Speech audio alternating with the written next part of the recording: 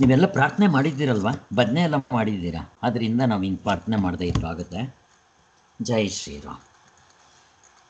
ಇನ್ನು ಆ ತತ್ವದಲ್ಲಿ ನಿಲ್ಲಕ್ಕಾಗದೇ ಇದ್ದಾಗ ಸಾಧನೆಗಳನ್ನ ಹೇಳ್ತಾರೆ. ಎರಡನೇ ಅಧ್ಯಾಯದಲ್ಲಿ ಕರ್ಮಯೋಗ, ಒಂದೊಂದು ಅಧ್ಯಾಯದಲ್ಲಿ ಒಂದು ಹೇಳ್ತಾರೆ. ಇನ್ನೊಂದು ಕಡೆ ಭಕ್ತಿ ಹೇಳ್ತಾರೆ. ಇನ್ನೊಂದು ಕಡೆ ಧ್ಯಾನ ಹೇಳ್ತಾರೆ. ಇನ್ನೊಂದು ಕಡೆ ಅಮಾನಿತ್ವಾದಿ ಸಾಧನೆಗಳು ಹೇಳ್ತಾರೆ. ಇನ್ನೊಂದು ಕಡೆ ಶ್ರದ್ಧೆ ಬಗ್ಗೆ ಹೇಳ್ತಾರೆ. ಹೀಗೆ ಹೇಳ್ತಾರೆ. ಕೊನೆಗೆ ತತ್ವದಲ್ಲಿ ನಿಂತವ್ರು ಹೇಗೆ ನಡ್ಕೊತಾರೆ? ಅದು ಕೂಡ ನಮಗೆ ಸಾಧನೆ. ಈಗ ಬ್ರಹ್ಮಚೈತನ್ಯರ ಜೀವನ ಚರಿತ್ರೆಯಲ್ಲಿ ಅವರ ವಿಶೇಷ ಗುಣಗಳು ಹೇಗಿತ್ತು ಅಂತ ಎಕ್ಸ್ಪ್ಲೈನ್ ಮಾಡ್ತಾ ಬರ್ತಾರೆ. ಇದು ನಮಗೆ ತುಂಬ ಸಹಾಯ ಆಗುತ್ತೆ. ಅವ್ರು ಹೇಗಿದ್ದರೂ ನಾವು ಹಾಗಿರೋದಕ್ಕೆ ಪ್ರಯತ್ನ ಮಾಡಬೇಕು. ನೋಡಿ, ಅವರು ನಮ್ಮಾಗೆ ಮಾಮೂಲಿಯಾಗಿ ಹುಟ್ಟಿ ಸಾಧನೆ ಮಾಡಿ ಜಪ ಮಾಡಿದ್ದಷ್ಟೇ ಅವ್ರು ಇನ್ನೇನು ಮಾಡಲಿಲ್ಲ. ಮತ್ತು ಆ ತತ್ವದಲ್ಲಿ ನಿಂತು ಹೇಗೆ ನಡ್ಕೊತಾ ಇದ್ದರು ಬ್ರಹ್ಮಜ್ಞಾನ ಆದರೆ ಹೇಗಿರ್ತಾರೆ. ನಾವು ಅವ್ರ ಹಾಗೆ ನಡ್ಕೊಂಡ್ರೆ ನಾವು ಮುಕ್ತರಾಗ್ಬಿಡ್ತೀವಿ. ಇದು ಸಾಧನೆ. ಅದಕ್ಕೋಸ್ಕರ ಏನು ಅಂತ ನಾವು ಸ್ವಲ್ಪ ನೋಡೋಣ. ಬ್ರಹ್ಮಚೈತನ್ಯರ ಮಹಾರಾಜರಲ್ಲಿ ಇದ್ದಂಥ ಗುಣಗಳನ್ನ ಹೇಳ್ತಾ ಇದ್ದಾರೆ. ಅವ್ರಿಗೆ ಇದು ಸಹಜ ಎಫರ್ಟ್ಲೆಸ್ ಚಾಯ್ಸ್ಲೆಸ್ ಸ್ಪಾಂಟೇನಿಯಸ್ ಅವ್ರಿಗೆ ಸಹಜ ಬೆಂಕಿಗೆ ಸುಡೋದು ಹೇಗೆ, ಸ್ವರೂಪ ಸಹಜವೋ ಅವ್ರಿಗೆ ಅದು ಹಾಗಿರುತ್ತೆ. ನಮಗೆ ನಾವು ಅದನ್ನು ಪ್ರಾಕ್ಟೀಸ್ ಮಾಡಬೇಕು, ಅಭ್ಯಾಸ ಮಾಡಬೇಕು, ನಮ್ಮ ಜೀವನದಲ್ಲಿ ಅಳವಡಿಸ್ಕೋಬೇಕು, ನಮಗೆ ಸಾಧನೆ ಆಗುತ್ತೆ. ನಾವು ತತ್ವದಲ್ಲಿ ನಿಂತರೆ ಹಗ್ಗ ಕಂಡ ಮೇಲೆ ಹಾವಿಲ್ಲ, ಭಯ ಇಲ್ಲ.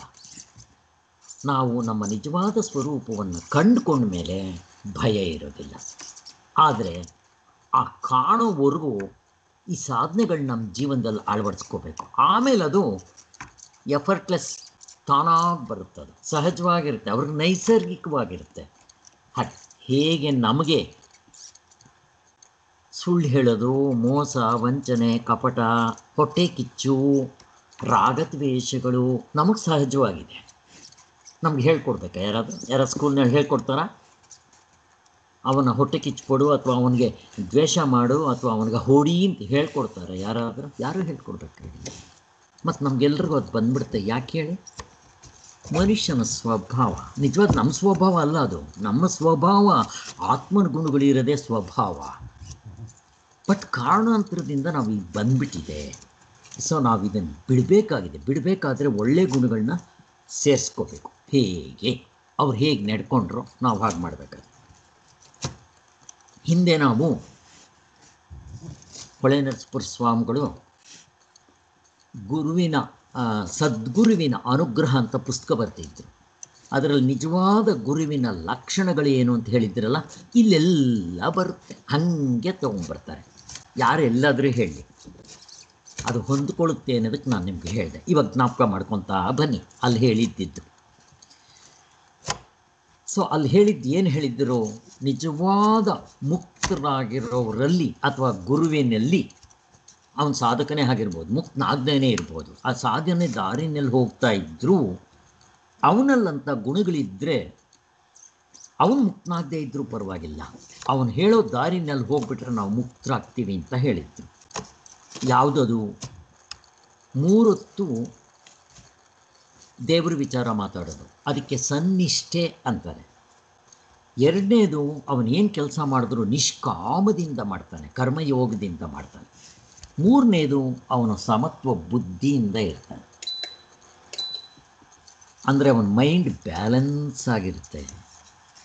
ಕರ್ಮಯೋಗ ಮಾಡಿದ್ರೂ ನಮ್ಮ ಮೈಂಡ್ ಬ್ಯಾಲೆನ್ಸ್ ಆಗಿರುತ್ತೆ. ಇನ್ನು ಮುಕ್ತರಾದವ್ರಿಗಂತೂ ಸಹಜವಾಗಿರುತ್ತೆ.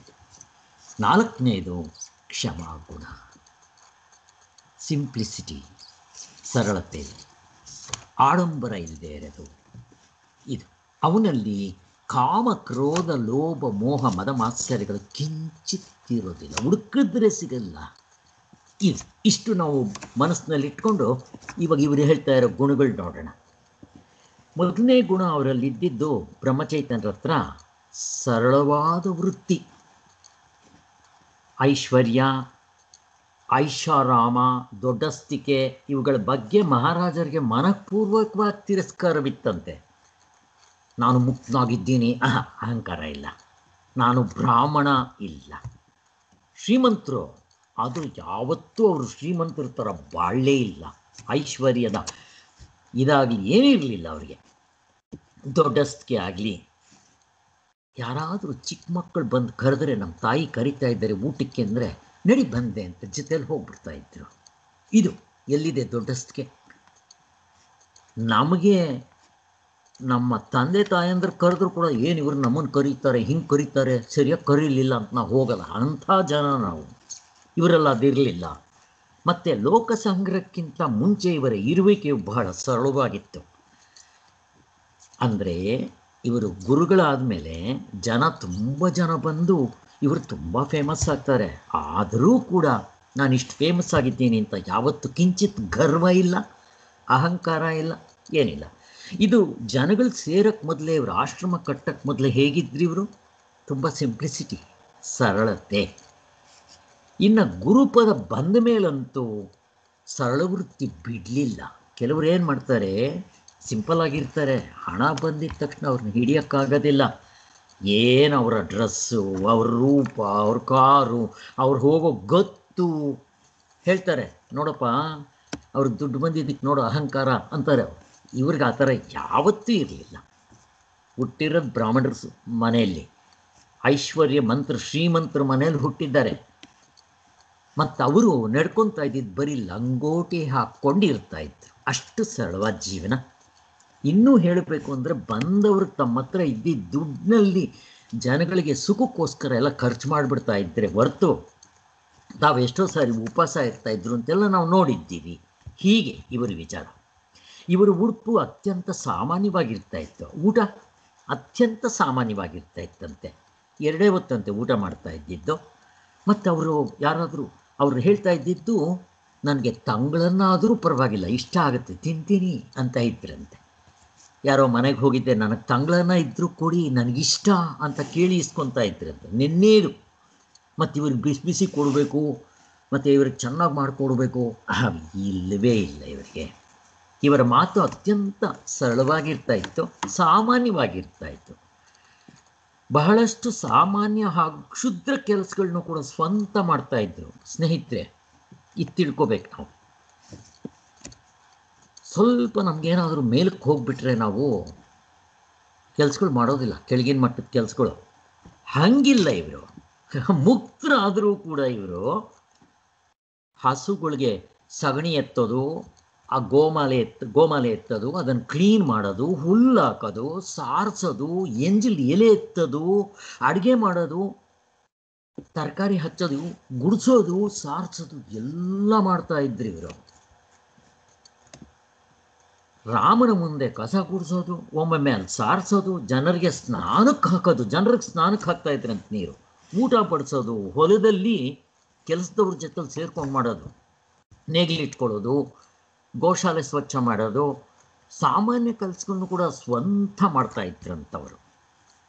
ತಮ್ಮ ತಮ್ಮ ಯೋಗ್ಯತೆ ಹಾಗೂ ಅಂತಸ್ತು ಏನಿರುತ್ತೆ ಅಂತ ವಿಚಾರ ಎಂದೂ ಮಾಡ್ತಾ ಇರಲಿಲ್ಲ. ಏ, ನಾನಿಲ್ಲಿ ದೊಡ್ಡ ಗುರು. ನಾನು ಮುಕ್ತನಾಗ್ಬಿಟ್ಟಿದ್ದೀನಿ. ನನಗೆ ರಾಮ ಒಲ್ದಿದ್ದಾನೆ. ಆ ಅಹಂಕಾರ ಇದ್ದರೆ ಅದು ಒಲ್ದಿಲ್ಲ ಅಂತ ಅರ್ಥ. ಪ್ರಸಂಗ ಬಂದಾಗ ಕೆಲಸ ಕಲಿಸುವುದು, ಕೆಸರು ಕಲಿಸೋದು. ಅದನ್ನು ಮಾಡ್ತಾ ಇದ್ರಂತೆ. ಕಲ್ಲೆತ್ತೋದು, ಕೂಲಿಗಳು ಮಾಡೋ ಕೆಲಸ ಕೂಡ ಮಾಡ್ತಾ ಇದ್ರಂತೆ. ಅದೇ ರೀತಿ ಬೇಕಾದರೆ ಬೇಕಾದಾಗ ಬೇಕಾದಲ್ಲಿ ಇವರನ್ನು ಭೇಟಿಯಾಗಲು ಅವಕಾಶ ಇರ್ತಾ ಇತ್ತು. ಯಾರೋ ಬರ್ತಾರೆ ಇವರು, ಹೊಲದಲ್ಲಿ ಕೆಲಸ ಮಾಡ್ತಾ ಇರ್ತಾರೆ. ಯಾರೋ ಭೇಟಿ ಮಾಡೋಕ್ಕೆ ಬಂದರೆ ಆ ನಾನು ಆಮೇಲೆ ಆಫೀಸಿಗೆ ಬಂದು ನೋಡ್ತೀನಿ, ಇಲ್ಲಿ ಬಂದು ನೋಡಬೇಡ, ಹೋಗ್ ಅಂತ ಅನ್ನೋದು ಹಾಗೇನಿಲ್ಲ. ನೀವು ಅಲ್ಲಿ ಬೇಕಾದರೂ ಭೇಟಿಯಾಗಿ, ಆಶ್ರಮಕ್ಕೆ ಬಂದು ಬೇಕಾದರೂ ಭೇಟಿಯಾಗಿ. ಅವ್ರು ನಡ್ಕೊಂಡು ಹೋಗ್ತಾ ಇದ್ರೆ, ಮಹಾರಾಜರೇ, ನಿಮ್ಮನ್ನು ನೋಡೋಕೆ ಬಂದೆ ಅಂದರೆ ಏನು ಸಮಾಚಾರ ಹೇಳಿ? ರಸ್ತೆಯಲ್ಲಿ. ಇಷ್ಟು ಸರಳತೆ. ರಮಣ ಮಹರ್ಷಿಗಳಲ್ಲಿ ಕೂಡ ನಾವು ನೋಡಿದ್ವಲ್ಲ? ಇದಿರಬೇಕು. ಬ್ರಹ್ಮಜ್ಞಾನಿಗಳೆಲ್ಲ ಅದಿರುತ್ತೆ ನಾವು ಅದನ್ನು ಜೀವನದಲ್ಲಿ ಅಳವಡಿಸ್ಕೋಬೇಕು ಅಂತ ಹೇಳ್ತಾ ಇರೋದಲ್ಲಿ. ಸುಮ್ಮನೆ ಅವ್ರ ಹತ್ರ ಇದೆ ಅಂತ ನೋಡಿಬಿಟ್ಟು ನಾವು ಸುಮ್ಮನೆ ಇರೋದಲ್ಲ. ನಾವು ಯಾವುದಾದ್ರೂ ಒಂದು ಕೆಲಸ ಮಾಡಬೇಕಾದ್ರೆ ಎಷ್ಟು ಎಕ್ಸ್ಪೆಕ್ಟ್ ಮಾಡ್ತೀವಿ ನೋಡಿ ನಾವು. ಅದೇ ಇರಬಾರ್ದು ಅಂತ ಹೇಳೋದು. ಇವ್ರಿಗೆ ಅದು ಇರಲೇ ಇರಲಿಲ್ಲ. ರಮಣ ಮಹರ್ಷಿಗಳಿಗೆ ಮಧ್ಯರಾತ್ರಿಲಿ ಎರಡು ಗಂಟೆಯಲ್ಲಿ ಯಾರೋ ಬಂದು ದರ್ಶನ ಮಾಡೋಕ್ಕೆ ಬಂದಿದ್ದರೆ ಕಳಿಸಿ ಅಂತಂದ್ರು ಪಾಪ. ಅವ್ರಿಗೆ ಗೊತ್ತು. ರಮಣ ಮಹರ್ಷಿಗಳನ್ನೇ ನೋಡೋಕೆ ಬಂದಿಲ್ಲ. ಆನ್ ದಿ ಹೋಗ್ತಾ ಇದ್ದಾರೆ ಆಶ್ರಮ ಇದೆ ಒಂದು ಸರಿ ಇದ್ದರೆ ನೋಡ್ಕೊಂಡು ಹೋಗ್ಬೇಡ ಅಂತ ಬಂದಿದ್ದು ಹೆಂಗಿದೆ ನೋಡಿ. ಆದರೆ ಅವರು ಹಂಗೆ ನೋಡಲ್ಲ. ಅವ್ರಿಗೆ ಗೊತ್ತವ್ರಿಗೆ ಇವರೇನೋ ದಾರಿಲಿ ಹೋಗ್ತಾ ಇದ್ದಾರೆ, ಬಂದಿದ್ದಾರೆ. ಪಾಪ, ಏನೋ ಆಸೆ ಪಡ್ತಾ ಇದ್ದಾರಲ್ಲ, ನೋಡ್ಕೊಂಡು ಹೋಗ್ಲಿ. ಇದು ಸಿಂಪ್ಲಿಸಿಟಿ ಸರಳತೆ ಅಂದರೆ. ಎರಡನೇ ವೈಶಿಷ್ಯ ಲೀನತೆ. ಲೀನತೆ ಅಂದರೆ ಏನು ಅಂದರೆ, ಯಾವುದೇ ಅವಸ್ಥೆ ಮನುಷ್ಯನು ಇವರ ಹತ್ರ ಹೋದ ಅಂತಂದರೆ, ಅವನೊಂದಿಗೆ ಅತ್ಯಂತ ಸಲೀಸಾಗಿ, ಸರಳವಾಗಿ ನಡ್ಕೊಂಡ್ಬಿಡ್ತಾ ಇದ್ರಂತೆ. ಇವರು ಮೇಲ್ ಕೂತ್ಕೊಳ್ಳೋದು, ಅವನು ಕೆಳಗೆ ಕೂತ್ಕೊಳ್ಳೋದು ಹಂಗಿಲ್ಲ. ಇಷ್ಟೇ ಅಲ್ಲದೆ ತಮ್ಮನ್ನು ವಿರೋಧಿಸುವ ಎಲ್ಲ ಜನರನ್ನು ಪ್ರೀತಿಸ್ತಾ ಇದ್ರಂತೆ. ಇದು ತುಂಬ ಮುಖ್ಯ ಸ್ವಾಮಿ. ನಮ್ಮನ್ನು ಏನಾದರೂ ಸಹಾಯ ಮಾಡೋರಿದ್ದರೆ ನಾವು ಚೆನ್ನಾಗಿ ನೋಡ್ತೀವಿ. ನಮಗೇನಾದರೂ ಸ್ವಲ್ಪ ವಿರುದ್ಧ ಆದರೆ ಗಂಡನ್ನು ನೋಡಲ್ಲ, ಹೆಂಡತಿನೂ ನೋಡಲ್ಲ, ಮಕ್ಕಳನ್ನೂ ನೋಡಲ್ಲ. ನಿನ್ನೆ ಹೇಳಿದ್ವಲ್ಲ, ಹಂಗೆ ಮಾಡಿಬಿಡ್ತೀವಿ. ಕೋರ್ಟು, ಕಚೇರಿ, ಬೇಕಾದ್ರೆ ಕೊಲ್ಲೋದಕ್ಕೂ ರೆಡಿ ಆಗಿಬಿಡ್ತೀವಿ. ಹಾಗೆ ಆಗಬಾರ್ದು. ಇವರಿಗೆ ವಿರುದ್ಧದವರು ಬಂದರು ಇವರಿಗೆ ದ್ವೇಷ ಮಾಡಿ ಇವರ ಮೇಲೆ ದೂರು ಹೇಳಿ, ಚಾಡಿ ಹೇಳಿ ಏನು ಹೇಳಿದ್ರೂ ಕೂಡ ಇವರು ಅವ್ರನ್ನ ಪ್ರೀತಿಯಿಂದನೇ ನೋಡ್ಕೊತಾ ಇದ್ರಂತೆ. ಹೇಗೆ ನೋಡ್ಕೊತಾ ಇದ್ರಂತೆ? ತನ್ನ ತಾಯಿ ತನ್ನ ಮಕ್ಕಳ ಮೇಲೆ ಪ್ರೀತಿಯಿಂದ ನೋಡ್ಕೊಳುತ್ತಲ್ಲ, ಹಾಗೇ ನೋಡ್ತಾ ಇದ್ರಂತೆ. ಇದು ತತ್ವವನ್ನು ಕಂಡ್ರೆ ಹೇಗಿರ್ತಾರೆ ಅಂದರೆ ಹೀಗಿರ್ತಾರೆ. ಇಂಥವ್ರಿಗೆ ಯಾರಿಗಾದರೂ ಬೇಡ ಅನಿಸುತ್ತಾ? ಯಾವುದಾದ್ರೂ ಪ್ರಪಂಚದಲ್ಲಿ ಯಾರಿಗಾದರೂ ಇವ್ರನ್ನ ಬೇಡ ಅನಿಸುತ್ತಾ? ಪ್ರಾಣಿಗಳಿಗೂ ಬೇಡ ಅಂತ ಅನ್ಸಲ್ಲ ಇಂಥವ್ರನ್ನ ಹುಲಿ ತಿನ್ನುತ್ತಾ? ಏನೂ ಮಾಡೋದಿಲ್ಲ. ಹಾವು ಕಚ್ಚುತ್ತಾ ಇವ್ರನ್ನ? ಏನೂ ಮಾಡೋದಿಲ್ಲ. ಯಾಕೆ? ಎಲ್ಲಿ ಇವ್ರು ಇರ್ತಾರೋ, ಅಲ್ಲಿ ಕ್ರೂರ ಮೃಗಗಳು ಕೂಡ ತಮ್ಮ ಕ್ರೂರತ್ವವನ್ನು ಕಳ್ಕೊಂಡ್ಬಿಡುತ್ತೆ. ಮನುಷ್ಯರು ಮನುಷ್ಯರು ಕಳ್ಕೊಳ್ಳೋದು ಕಷ್ಟ. ಮನುಷ್ಯರಲ್ಲಿ ಬಂದರೂ ಕೂಡ ಬದಲಾವಣೆ ಆಗ್ತಾ ಇರ್ಬೋದು. ಪಾಪ ಇವರಿಗೆಲ್ಲ ವಿಷ ಕೊಟ್ಟಿದ್ದಾರೆ, ಎಲ್ಲ ಮಾಡ್ತಾರೆ. ಪ್ರಾಣಿಗಳು ಹಂಗಿರೋದಿಲ್ಲ. ಅವು ಬೇಗ, ನೋಡಿ ಆ ಕುದುರೆ ಎಷ್ಟು ಚೆನ್ನಾಗಿ ಅರ್ಥ ಮಾಡ್ಕೊಂತು. ಇವ್ರನ್ನ ಜನಗಳು ಯಾರೂ ಅರ್ಥ ಮಾಡ್ಕೊಂಡಿಲ್ಲ. ಇವ್ರು ಹೇಳ್ತಾ ಇದ್ದಾರೆ ಕ್ಲಿಯರಾಗಿ ಹೇಳ್ತಾ ಇದ್ದಾರೆ, ತೋರಿಸ್ತಾ ಇದ್ದಾರೆ. ನಾನು ಇನ್ನೊಂದು ವಾರದಲ್ಲಿ ಇರಲ್ಲ ಇಲ್ಲಿ, ಹೊರಟೋಗ್ತಾ ಇದ್ದೀನಿ ಅಂತ. ಜನಗಳು ಯಾರು ಕಿವಿಗೆ ಹಾಕ್ಕೊಳ್ಳಲ್ಲ ಅದನ್ನು ಯಾರೂ ನಂಬೋದಿಲ್ಲ. ಆದರೆ ಪ್ರಾಣಿ, ಮೂಕು ಪ್ರಾಣಿ, ಅದಕ್ಕೆ ಭಾಷೆ ಬರೋದಿಲ್ಲ, ಗೊತ್ತಿಲ್ಲ. ಇವ್ರು ಯಾರೂ ಹೇಳಲಿಲ್ಲ ಆದರೂ ಕೂಡ ಅದಕ್ಕೆ ಇವ್ರು ಹೋಗ್ಬಿಡ್ತಾರೆ ಅನ್ನೋದು ಗೊತ್ತಾಯ್ತು ನೋಡಿ ಅದನ್ನು ಹೇಳ್ತಾರೆ. ಪ್ರಾಣಿಗಳಿಗೆ ಆ ಮನಸ್ಸಿರುತ್ತೆ ಅಂತ. ಆದರೆ ಇವುಗಳಲ್ಲಿ ಇವು, ಇವೆಲ್ಲವುಗಳ ಸುಂದರ ಸಂಗಮವು ರಾಮ ಮಹಾರಾಜರಲ್ಲಿ ಪೂರ್ಣವಾಗಿ ಕಂಡು ಬರ್ತಾ ಇತ್ತು. ಮತ್ತು ಅತ್ಯಂತ ಸಾಮಾನ್ಯ ಯೋಗ್ಯತೆಯ ಮಹಂತನು ಗೋಂದವಳಿಗೆ ಬಂದೆ ಅಂತಂದರೆ ಸಾಕು. ಮಹಾರಾಜರು ಅವನೊಂದರಿಗೆ ಸಮಾನತೆ ಭಾವನೆಯಿಂದ ವ್ಯವಹರಿಸ್ತಾ ಇದ್ರಂತೆ. ಈಗ ಯಾರೋ ಒಬ್ಬ ತುಂಬ ಕಡು ಬಡವ ಬರ್ತಾನೆ ಅಂತ ಇಟ್ಕೊಳ್ಳಿ. ಅವನ ಜೊತೆಯಲ್ಲಿ ಪಾಪ ಹಾಗೇ ಇದ್ಬಿಡೋದು. ಚೆನ್ನಾಗಿ ಮಾತಾಡಿಕೊಂಡು ಅವನಿಗೆ, ಅಯ್ಯೋ, ಇವರು ತುಂಬ ದೊಡ್ಡವರಪ್ಪ.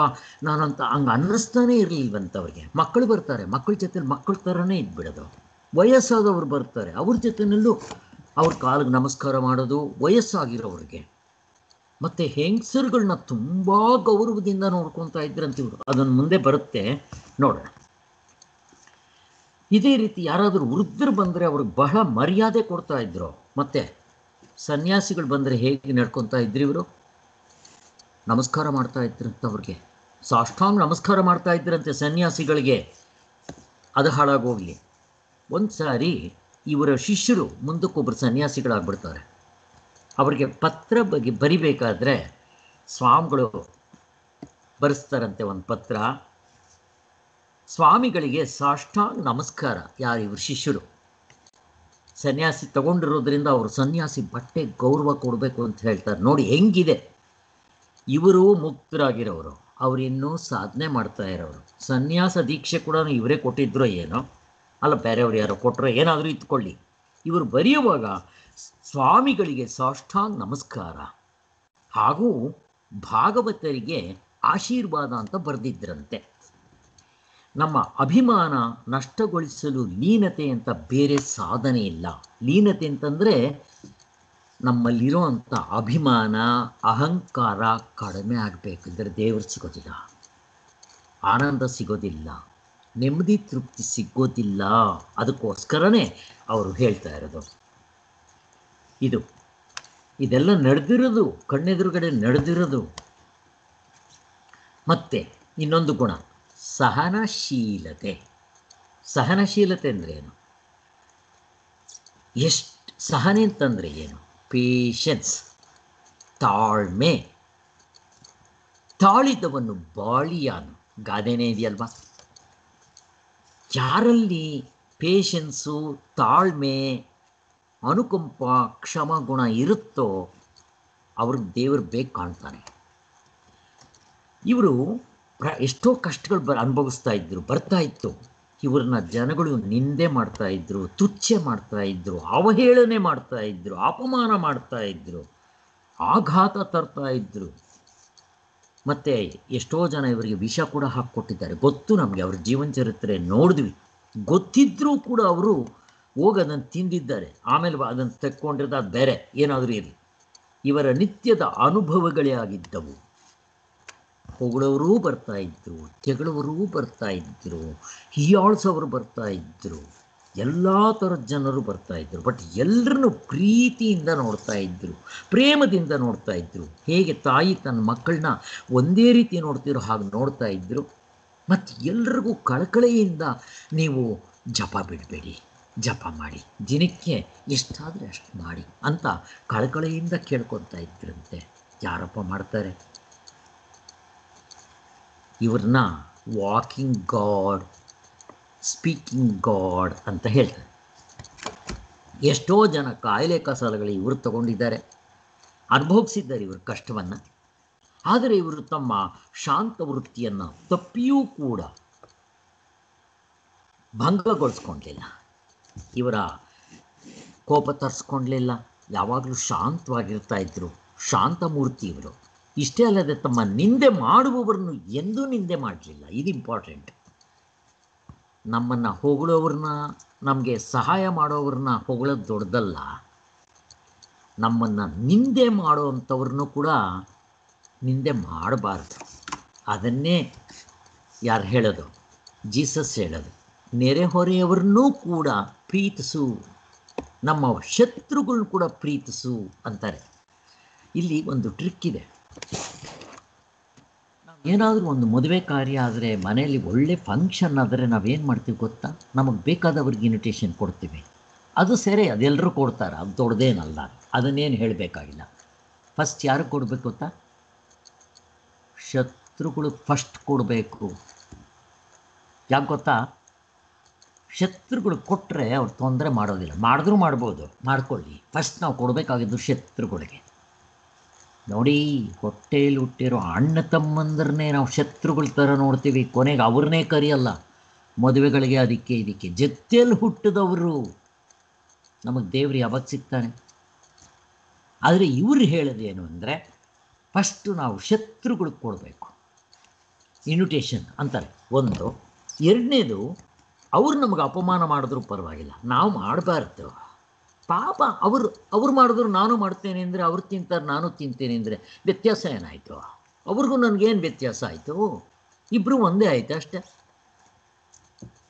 ದ್ವೇಷವನ್ನು ದ್ವೇಷದಿಂದ ಗೆಲ್ಲಕ್ಕಾಗೋದಿಲ್ಲ. ಬೆಂಕಿ ಹತ್ಕೊಂಡಿದೆ. ಮತ್ತದನ್ನು ಸೀಮೆಣ್ಣೆ ಹಾಕಿದ್ರೆ ಅದು ಆರುತ್ತೇನೋ? ಪೆಟ್ರೋಲ್ ಹಾಕಿದ್ರೆ ಆರುತ್ತೇನೋ? ಆರೋದಿಲ್ಲ. ಯಾರಾದರೂ ಒಬ್ಬರು ಸೋಲ್ಬೇಕಿಲ್ಲಿ. ನಾವೇನು ಮಾಡ್ತೀವಿ? ಸೌದೆ ಇದ್ದರೆ ಅವನು ಆ ಕಡೆ ಸೀಮೆಣ್ಣೆ ಹಾಕ್ತಾನೆ, ಇವನು ಬೆಂಕಿ ಕಡ್ಡಿ ಹಚ್ತಾನೆ ಅವನು ಪೆಟ್ರೋಲ್ ಹಾಕ್ತಾನೆ, ಇವನು ಗ್ಯಾಸ್ ಹಾಕ್ತಾನೆ. ಹಾಗಲ್ಲ. ಅವನು ಹಾಕ್ದ ಅಂತ ಇಟ್ಕೊಳ್ಳಿ. ಅವನು ಸೀಮೆಣ್ಣೆ ಹಾಕ್ತಾನೆ ಅಂತ ಇಟ್ಕೊಳ್ಳಿ. ನೀವು ಬೆಂಕಿ ಕಡ್ಡಿ ಗೀಚಬೇಡಿ ಎಲ್ಲತ್ಕೊಳ್ಳುತ್ತದು. ಬುದ್ಧನ ಥಿಯರಿ ಇದು. ಯಾರೋ ಎದುರುಗಡೆ ಬಂದಿದ್ದೆ, ಅವನ ಬೈತಾನೆ ಬೈತಾನೆ ಬೈತಾನೆ, ಬುದ್ಧನ್ನ ಕಾಲು ಗಂಟೆ ಬೈತಾನೆ, ಅವನಿಗೆ ಗಂಟಲು ನೋವು ಬಂದುಬಿಡುತ್ತೆ. ಕೊನೆಗೆ ನೋಡ್ತಾನೆ, ಬುದ್ಧನ ಮುಖದಲ್ಲಿ ಕಿಂಚಿತ್ ಬದಲಾವಣೆ ಇಲ್ಲ. ಅದೇ ಶಾಂತವಾದ ಮುಖ. ಬಾ. ಧ್ಯಾನ ಮಾಡುವಾಗ ಬುದ್ಧನ ನೆನೆಸ್ಕೊಳ್ಳಿ ನಿಮ್ಮ ಮೆಡಿಟೇಷನ್ ತುಂಬ ಚೆನ್ನಾಗಾಗ್ಬಿಡುತ್ತೆ ಯಾಕೆ ಗೊತ್ತಾ? ಅವನ ಮುಖ ಆಗಿದೆ ಎಲ್ಲಾದರೂ ಕೋಪ ಮಾಡ್ಕೊಂಡಿರೋದು ನೋಡಿದ್ದೀರ ಬುದ್ಧ. ಆ ರಾಕ್ಷಸ ಬರ್ತಾನೆ, ಅವನ ಅಂಗೂಲಿ ಮಾಲೆ ಇವ್ರನ್ನ ಕಡ್ದಾಕ್ಬಿಡ್ಬೇಕು ಅಂತ. ಅವ್ರ ಎದುರುಗಡೆ ಕೂಡ ಹಾಗೇ ಇರ್ತಾರೆ. ಗೊ ಗೊತ್ತ ಅಕಸ್ಮಾತ್ ಅವನು ಕೊಂದ್ರು ಕೊಲ್ಬೋದು ಕೊಲ್ಲಿ. ಸತ್ರು ಶರೀರ ಸಾಹಿತ್ಯ ನಾನು ಸಾಯಲ್ಲ ಅನ್ನೋದವ್ರಿಗೆ ಅನುಭವ ಬಂದಿರುತ್ತೆ ಒಂದು. ಎರಡನೇದು ಇವರಿಗೆ ಅವ್ರ ಮೇಲೆ ಕರುಣೆ ಇರುತ್ತೆ ಪ್ರೀತಿ ಇರುತ್ತೆ ಪ್ರೇಮ ಇರುತ್ತೆ. ಅವ್ರು ತಪ್ಪು ಮಾಡಿದ್ರು ಅವ್ರಿಗೆ ಹಿಂಸೆ ಕೊಡಬೇಕು ಶಿಕ್ಷೆ ಕೊಡಬೇಕು ಹಾಳಾಗೋಗ್ಲಿ ಅಂತ ಅನ್ಸೋದಿಲ್ಲ ಅವರಿಗೆ. ಒಳಗಡೆಯಿಂದನೂ ಅನ್ಸಲ್ಲ ಮೇಲ್ಗಡೆ ಇರಲಿ. ಮೇಲ್ಗಡೆನೂ ಅನ್ಸಲ್ಲ ಒಳಗೇನೂ ಅನ್ಸಲ್ಲ. ಜೀಸಸ್ ಜೀಸಸ್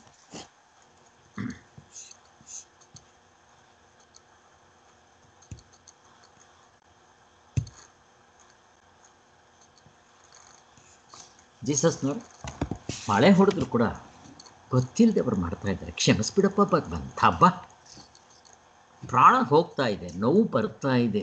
ಮಳೆ ಬದುಕಿರೋವನಿಗೆ ಎರಡು ಕಾಲುಗಳು ಸೇರಿಸಿ, ಕೈಗಳಿಗೆ ಎದೆಗೆ ಮುಳ್ಳಿಂದು ಕಿರೀಟ ಹಾಕಿದ್ರು ಕೂಡ ಬುದ್ಧನ ಆ ಜೀಸಸ್ ಬಾಯಿನಲ್ಲಿ ಅದು ಬರಬೇಕು ಅಂದರೆ ಇದು ರಿಯಲೈಸ್ ಆಗದೆ ಇದ್ದರೆ ಈ ಥರ ಮಾತುಗಳು ಬರೋದಿಲ್ಲ. ಆದ್ದರಿಂದ ಅದಕ್ಕೋಸ್ಕರ ಶತ್ರುಗಳನ್ನ ಕೂಡ ನಾವು ದ್ವೇಷಿಸಬಾರ್ದು. ಈ ದ್ವೇಷಿಸಬಾರ್ದು ಅಂತಂದರೆ ಅಲ್ಲಿ ಏನು? ಅವನಲ್ಲೂ ಪರಮಾತ್ಮನಿದ್ದಾನೆ ಅಂತ ನಮಗೆ ನೋಡೋಕ್ಕೆ ಬಂದರೆ ಆವಾಗ ದ್ವೇಷಿಸಲ್ಲ. ನಾವು ಹಾಗೆ ಮಾಡಲ್ಲ. ನೀನು ಬೇರೆ, ನಾನು ಬೇರೆ, ಗಂಡ ಬೇರೆ, ಹೆಂಡತಿ ಬೇರೆ, ಮಕ್ಕಳು ಬೇರೆ, ಹೀಗೆ ನೋಡ್ತೀವಿ ನಾವು. ಇದನ್ನು ನಾವು ಪ್ರೀತಿ ಅಂತ ಕರಿತೀವಿ. ಆಧ್ಯಾತ್ಮಕ್ಕೆ ಬಂದರೆ ಪ್ರೀತಿ ಹೋಗ್ಬಿಡುತ್ತಂತೆ ಮನೆ ಬಿಟ್ಟು ಹೋಗ್ಬಿಡ್ತಾರಂತೆ. ನಾವು ಮನೆಗಳಲ್ಲಿದ್ದರೆ ಚೆನ್ನಾಗಿರ್ತೀವಂತೆ ಇದರ ಯಾಕೆ ಆರಾರು ತಿಂಗಳು ಡೈವರ್ಸ್ಗಳಾಗೋದು ಮಕ್ಕಳನ್ನ ಇವ್ರ ಕಣ್ಣು ಕಂಡ್ರೆ ಅವ್ರಿಗಾಗಲ್ಲ, ಅವ್ರು ಕಂಡ್ರೆ ಇವ್ರಿಗಾಗಲ್ಲ, ಯಾಕೆ ಅಂತಂದರೆ ಪ್ರತಿಯೊಬ್ಬರು ಸೆಲ್ಫಿಶ್ಗಳು ನಾವು. ದೇವ್ರ ಕಡೆ ಬಂದರೆ ಕಿಂಚಿತ್ ಸೆಲ್ಫಿಶ್ನೆಸ್ ಕಡಿಮೆ ಆಗುತ್ತೆ. ಕಡಿಮೆ ಆದಾಗ ಆ ಪ್ರೀತಿ, ವಿಶ್ವಾಸ, ಪ್ರೇಮ ಜಾಸ್ತಿ ಆಗುತ್ತೆ. ಇದನ್ನು ನಾವು ಅರ್ಥ ಮಾಡ್ಕೋಬೇಕು. ಅಕಸ್ಮಾತ್ ಗೊತ್ತಿಲ್ಲದೆ ಅವರು ದ್ವೇಷಿಸಿದ್ರು, ನಾವು ದ್ವೇಷಿಸಕ್ಕೆ ಹೋಗ್ಬಾರ್ದು. ಯಾಕೆ? ನಮಗೆ ದೇವರು ಬೇಕು ಅಂತ ಹೋಗ್ತಾ ಇದ್ದೀವಿ ದ್ವೇಷಿಸ್ಬಾರ್ದು ನಾವು.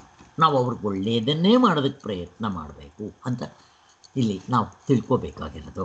ಸಂಕಟಗಳನ್ನು ಒಡ್ಡುವವರ ಮೇಲೆ ಎಂದೂ ಅವರು ಸಂಕಟವನ್ನು ಒಡ್ಲಿಲ್ಲ. ಇವನು ನನಗೆ ದುಃಖ ಕೊಟ್ಟಿದ್ದಾನೆ, ಇವನು ನಾನು ಡಬಲ್ ದುಃಖ ಕೊಡ್ತೀನಿ. ಹಾಂ ಹಾಂ ಹಾಂ ಮಾಡಲಿಲ್ಲ. ಇನ್ನೂ ಅವ್ರ ಕಾಯಿಲೆಗಳನ್ನ ಕಸಾಲೆಗಳನ್ನ ಅವ್ರ ತೊಂದರೆಗಳನ್ನ ವಾಪಸ್ ತಗೊಂಡ್ರು, ಅವ್ರಿಗೆ ಹೊಟ್ಟೆ ತುಂಬ ಊಟ ಹಾಕಿದ್ರು. ಪಕ್ಕದಲ್ಲಿ ಕುಂಡ್ರಿಸ್ಕೊಂಡು ಮೈ ನೀವಿ, ಬೆಳ್ಳಿ ತಟ್ಟಲ್ಲಿ ಊಟ ಹಾಕಿ, ನೀವು ರಾಮನ ನಂತರ ಬಿಡ್ಬಿಡ್ರಪ್ಪ, ನಾನು ಬೇಕಾದರೆ ಬೈರಿ ಅಂತ ಹೇಳ್ತಾ ಇದ್ರು. ಬಾ, ಇಂಥ ಗುರುಗಳು ಎಲ್ಲಿ ಸಿಗ್ತಾರೆ? ಸದ್ಯ ನಮ್ಗೆ ಸಿಗದೇ ಇದ್ರೆ ಹೋಗಲಿ. ಅವ್ರ ಹತ್ರ ನಾವು ಕಿಂಚಿತ್ ಇಂಥವುಗಳನ್ನ ಅಳವಡಿಸ್ಕೊಳ್ಳೋದು ಇದು ಬೇಡಪ್ಪ. ಸಿಂಪಲ್ ಜಪ ಮಾಡಿ ಸಾಕು. ಅಷ್ಟೇ ಅವ್ರು ಕೇಳೋದು. ಆಮೇಲೆ ಇವೆಲ್ಲ ಗುಣಗಳು ತಾನಾಗಿ ಬರುತ್ತೆ. ನಾವು ಜಪ ಮಾಡೋಕ್ಕೆ ಶುರು ಮಾಡಿ, ಈ ಗುಣಗಳು ತಾನಾಗಿ ಬರೋಕ್ಕೆ ಶುರುವಾಗತ್ತೆ. ಜೊತೆಗೆ ಇವುಗಳನ್ನ ಸ್ವಲ್ಪ ಪ್ರಾಕ್ಟೀಸ್ ಮಾಡಿದ್ರೆ ಕೇಳಿದ್ರೆ ನಮ್ಗೆ ಅರ್ಥ ಆಗೋದು. ಕೇಳ್ದೇನೆ ಇದ್ದರೆ ಹೆಂಗೆ ಅರ್ಥ ಆಗುತ್ತೆ? ಎಷ್ಟು ಜನ್ಮಗಳು ಕೇಳಿದ್ರು, ಎಷ್ಟು ಜನ್ಮಗಳು ಪ್ರಾಕ್ಟೀಸ್ ಮಾಡಿದ್ರು ನಮ್ಮ ಪ್ರಾಕ್ಟೀಸಿಗೆ ಬರೋದು ಕಷ್ಟ ಇದು. ಹಂಗಿದೆ. ನಾವು ಕೇಳ್ದೇನೆ ಇದ್ದರೆ ಪ್ರಯತ್ನನೇ ಮಾಡದೇ ಇದ್ದರೆ ಮತ್ ಮತ್ ಕಿವಿಗೆ ಬೀಳಬೇಕು, ಮತ್ ಮತ್ ಪ್ರಯತ್ನ ಮಾಡಬೇಕಿದು. ಹಾಗೆ. ಸೊ ಎಡಿಸನ್ ಅಂತ ಅವನು ಏನು ಹೇಳಿದ್ದಾನೆ? ಪ್ರತಿಯೊಬ್ಬ ಮಹಾಪುರುಷನು ತನ್ನ ಮಹಾಂತೆಯ ಬಗ್ಗೆ ಈ ಜಗತ್ತಿನಿಂದ ನಿಂದಾರೂಪದ ಕರವನ್ನು ಕೊಡಬೇಕಾಗತ್ತೆ. ಎಡಿಸನ್ ಹೇಳಿದ್ರು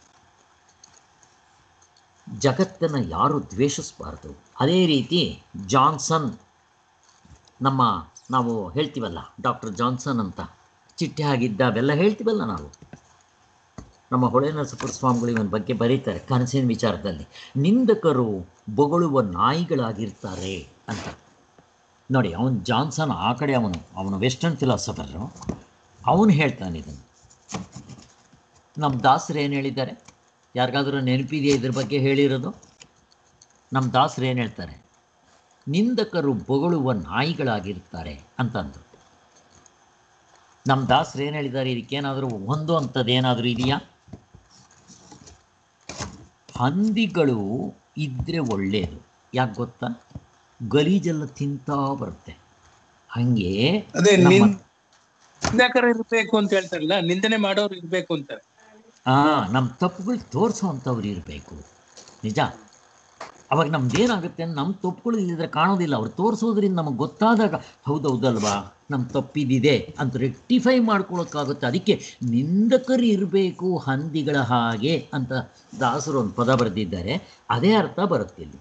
ನಿಂದಕರು ಬೊಗಳುವ ನಾಯಿಗಳಾಗಿರ್ತಾರೆ. ನಾಯಿ ಬೊಗಳಿದ್ರೆ ದೇವಲೋಕ ಹಾಳಾಗೋಗೋದಿಲ್ಲ. ಆದರೆ ನಮ್ಮ ತಪ್ಪಿದ್ರೆ ನಾವು ತಿದ್ಕೋಬೇಕು ಇದು ಕುಲಕರ್ಣಿ ಸ್ವಾಮಿಗಳಿದ್ರ ವಿಚಾರದಲ್ಲಿ ಒಂದು ವಿಚಾರ ಹೇಳ್ತಾ ಇದ್ರು. ಸ್ಟಾರ್ಟಿಂಗಲ್ಲಿ ಅವರು ಆಧ್ಯಾತ್ಮಕ್ಕೆ ಬಂದಾಗ ಅವರು ಊರೆಲ್ಲ ಬಿಟ್ಟು ಬಂದಿದ್ದರು ಆಸ್ತಿ ಎಲ್ಲ ಪೂರ್ತಿ ಗೊತ್ತು ನಮಗೆ.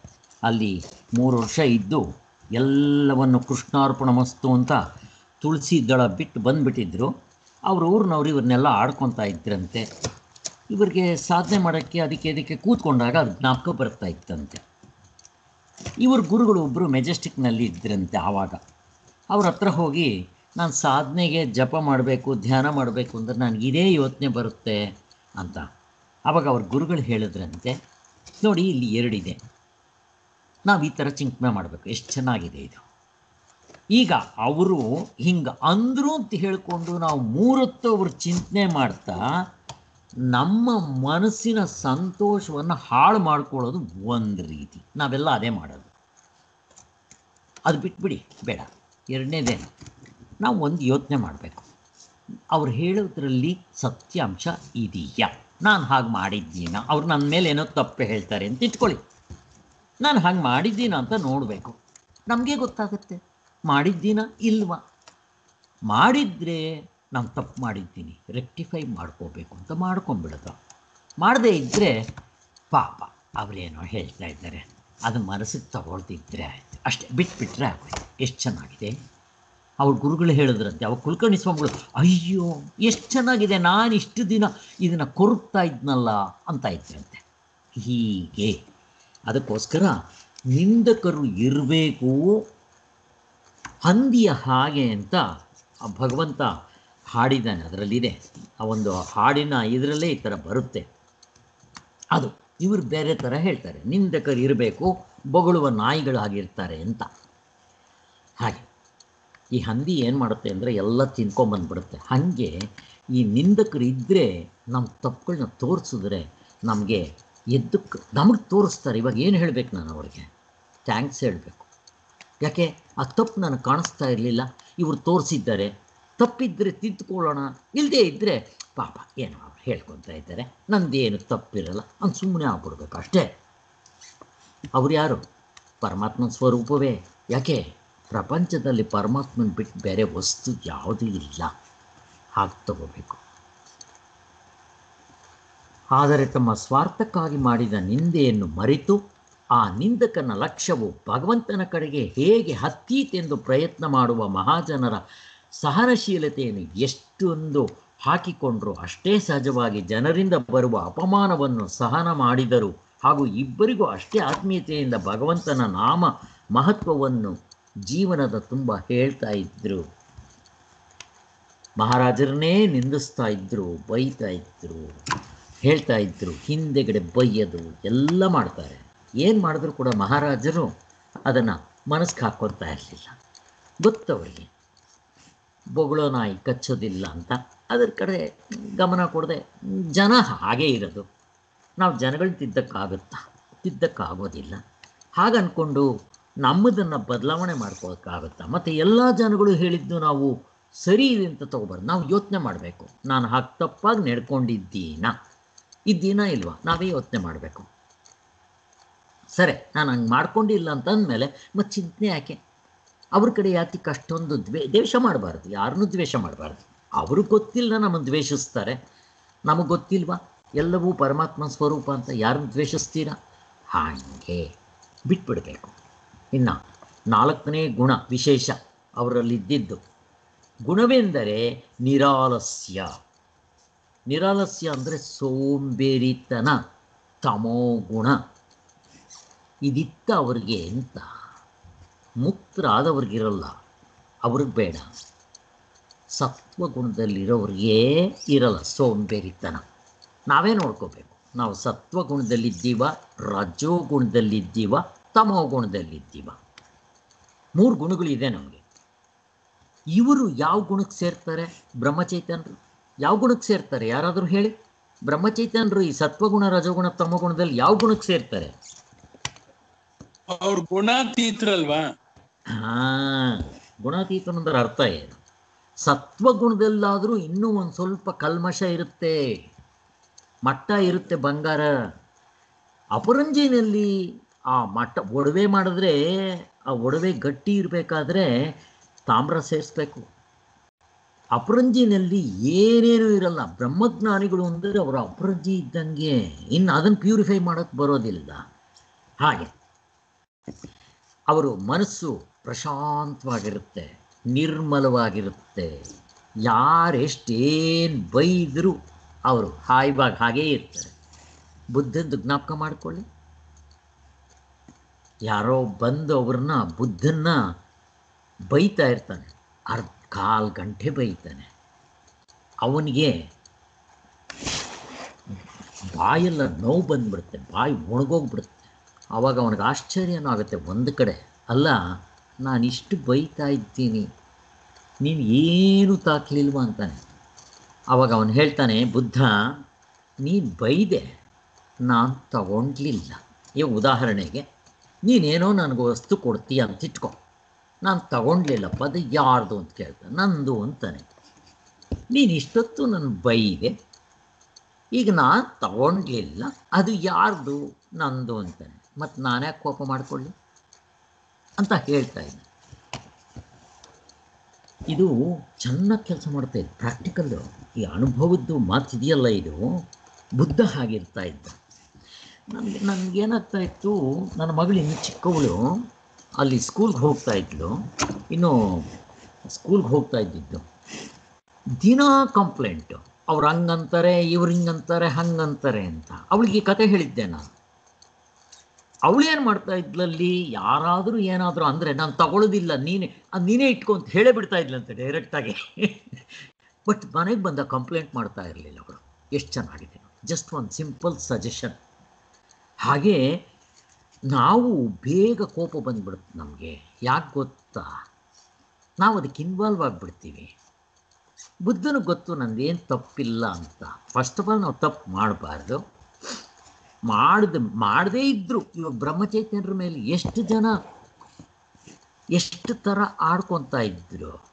ಅವ್ರಿಗೆ ಒಂದ ಎರಡ ವಿಷ ಹಾಕಕ್ಕೆ ಬಂದಿದ್ದರು ನೆಂಟ್ರಿಷ್ಟರೆಲ್ಲ ಬಂದು ಅವ್ರ ಆಸ್ತಿ ಕಿತ್ಕೊಳ್ಳೋಕೆ ಎಷ್ಟು ಪ್ರಯತ್ನ ಮಾಡಿದ್ರು ಅವ್ರನ್ನ ಹೊಡೆಯೋಕ್ಕೆ ಬಂದಿದ್ದರು ಎಲ್ಲ ಥರದ್ದು ಆಗಿದೆ ಅವರಿಗೆ. ಅಷ್ಟೆಲ್ಲ ಕಷ್ಟಗಳು ಗೋಜುಗಳು ಇದ್ದರೂ ಕೂಡ ಅವರು ಎಲ್ಲರನ್ನೂ ಪ್ರೀತಿಯಿಂದ ದೇವ್ರ ಸ್ವರೂಪದಲ್ಲಿ ನೋಡ್ತಾ ಅವರಿಗೆ ರಾಮನಾಮ ಹಚ್ಚಿ ಕಳಿಸ್ತಾ ಇದ್ದರು ಇದು ಹೇಗಿದೆ ನೋಡಿ, ಹೀಗೆ. ಅದಕ್ಕೋಸ್ಕರ ನಾವು ಈ ರೀತಿ ಯೋಚನೆ ಮಾಡಬೇಕು.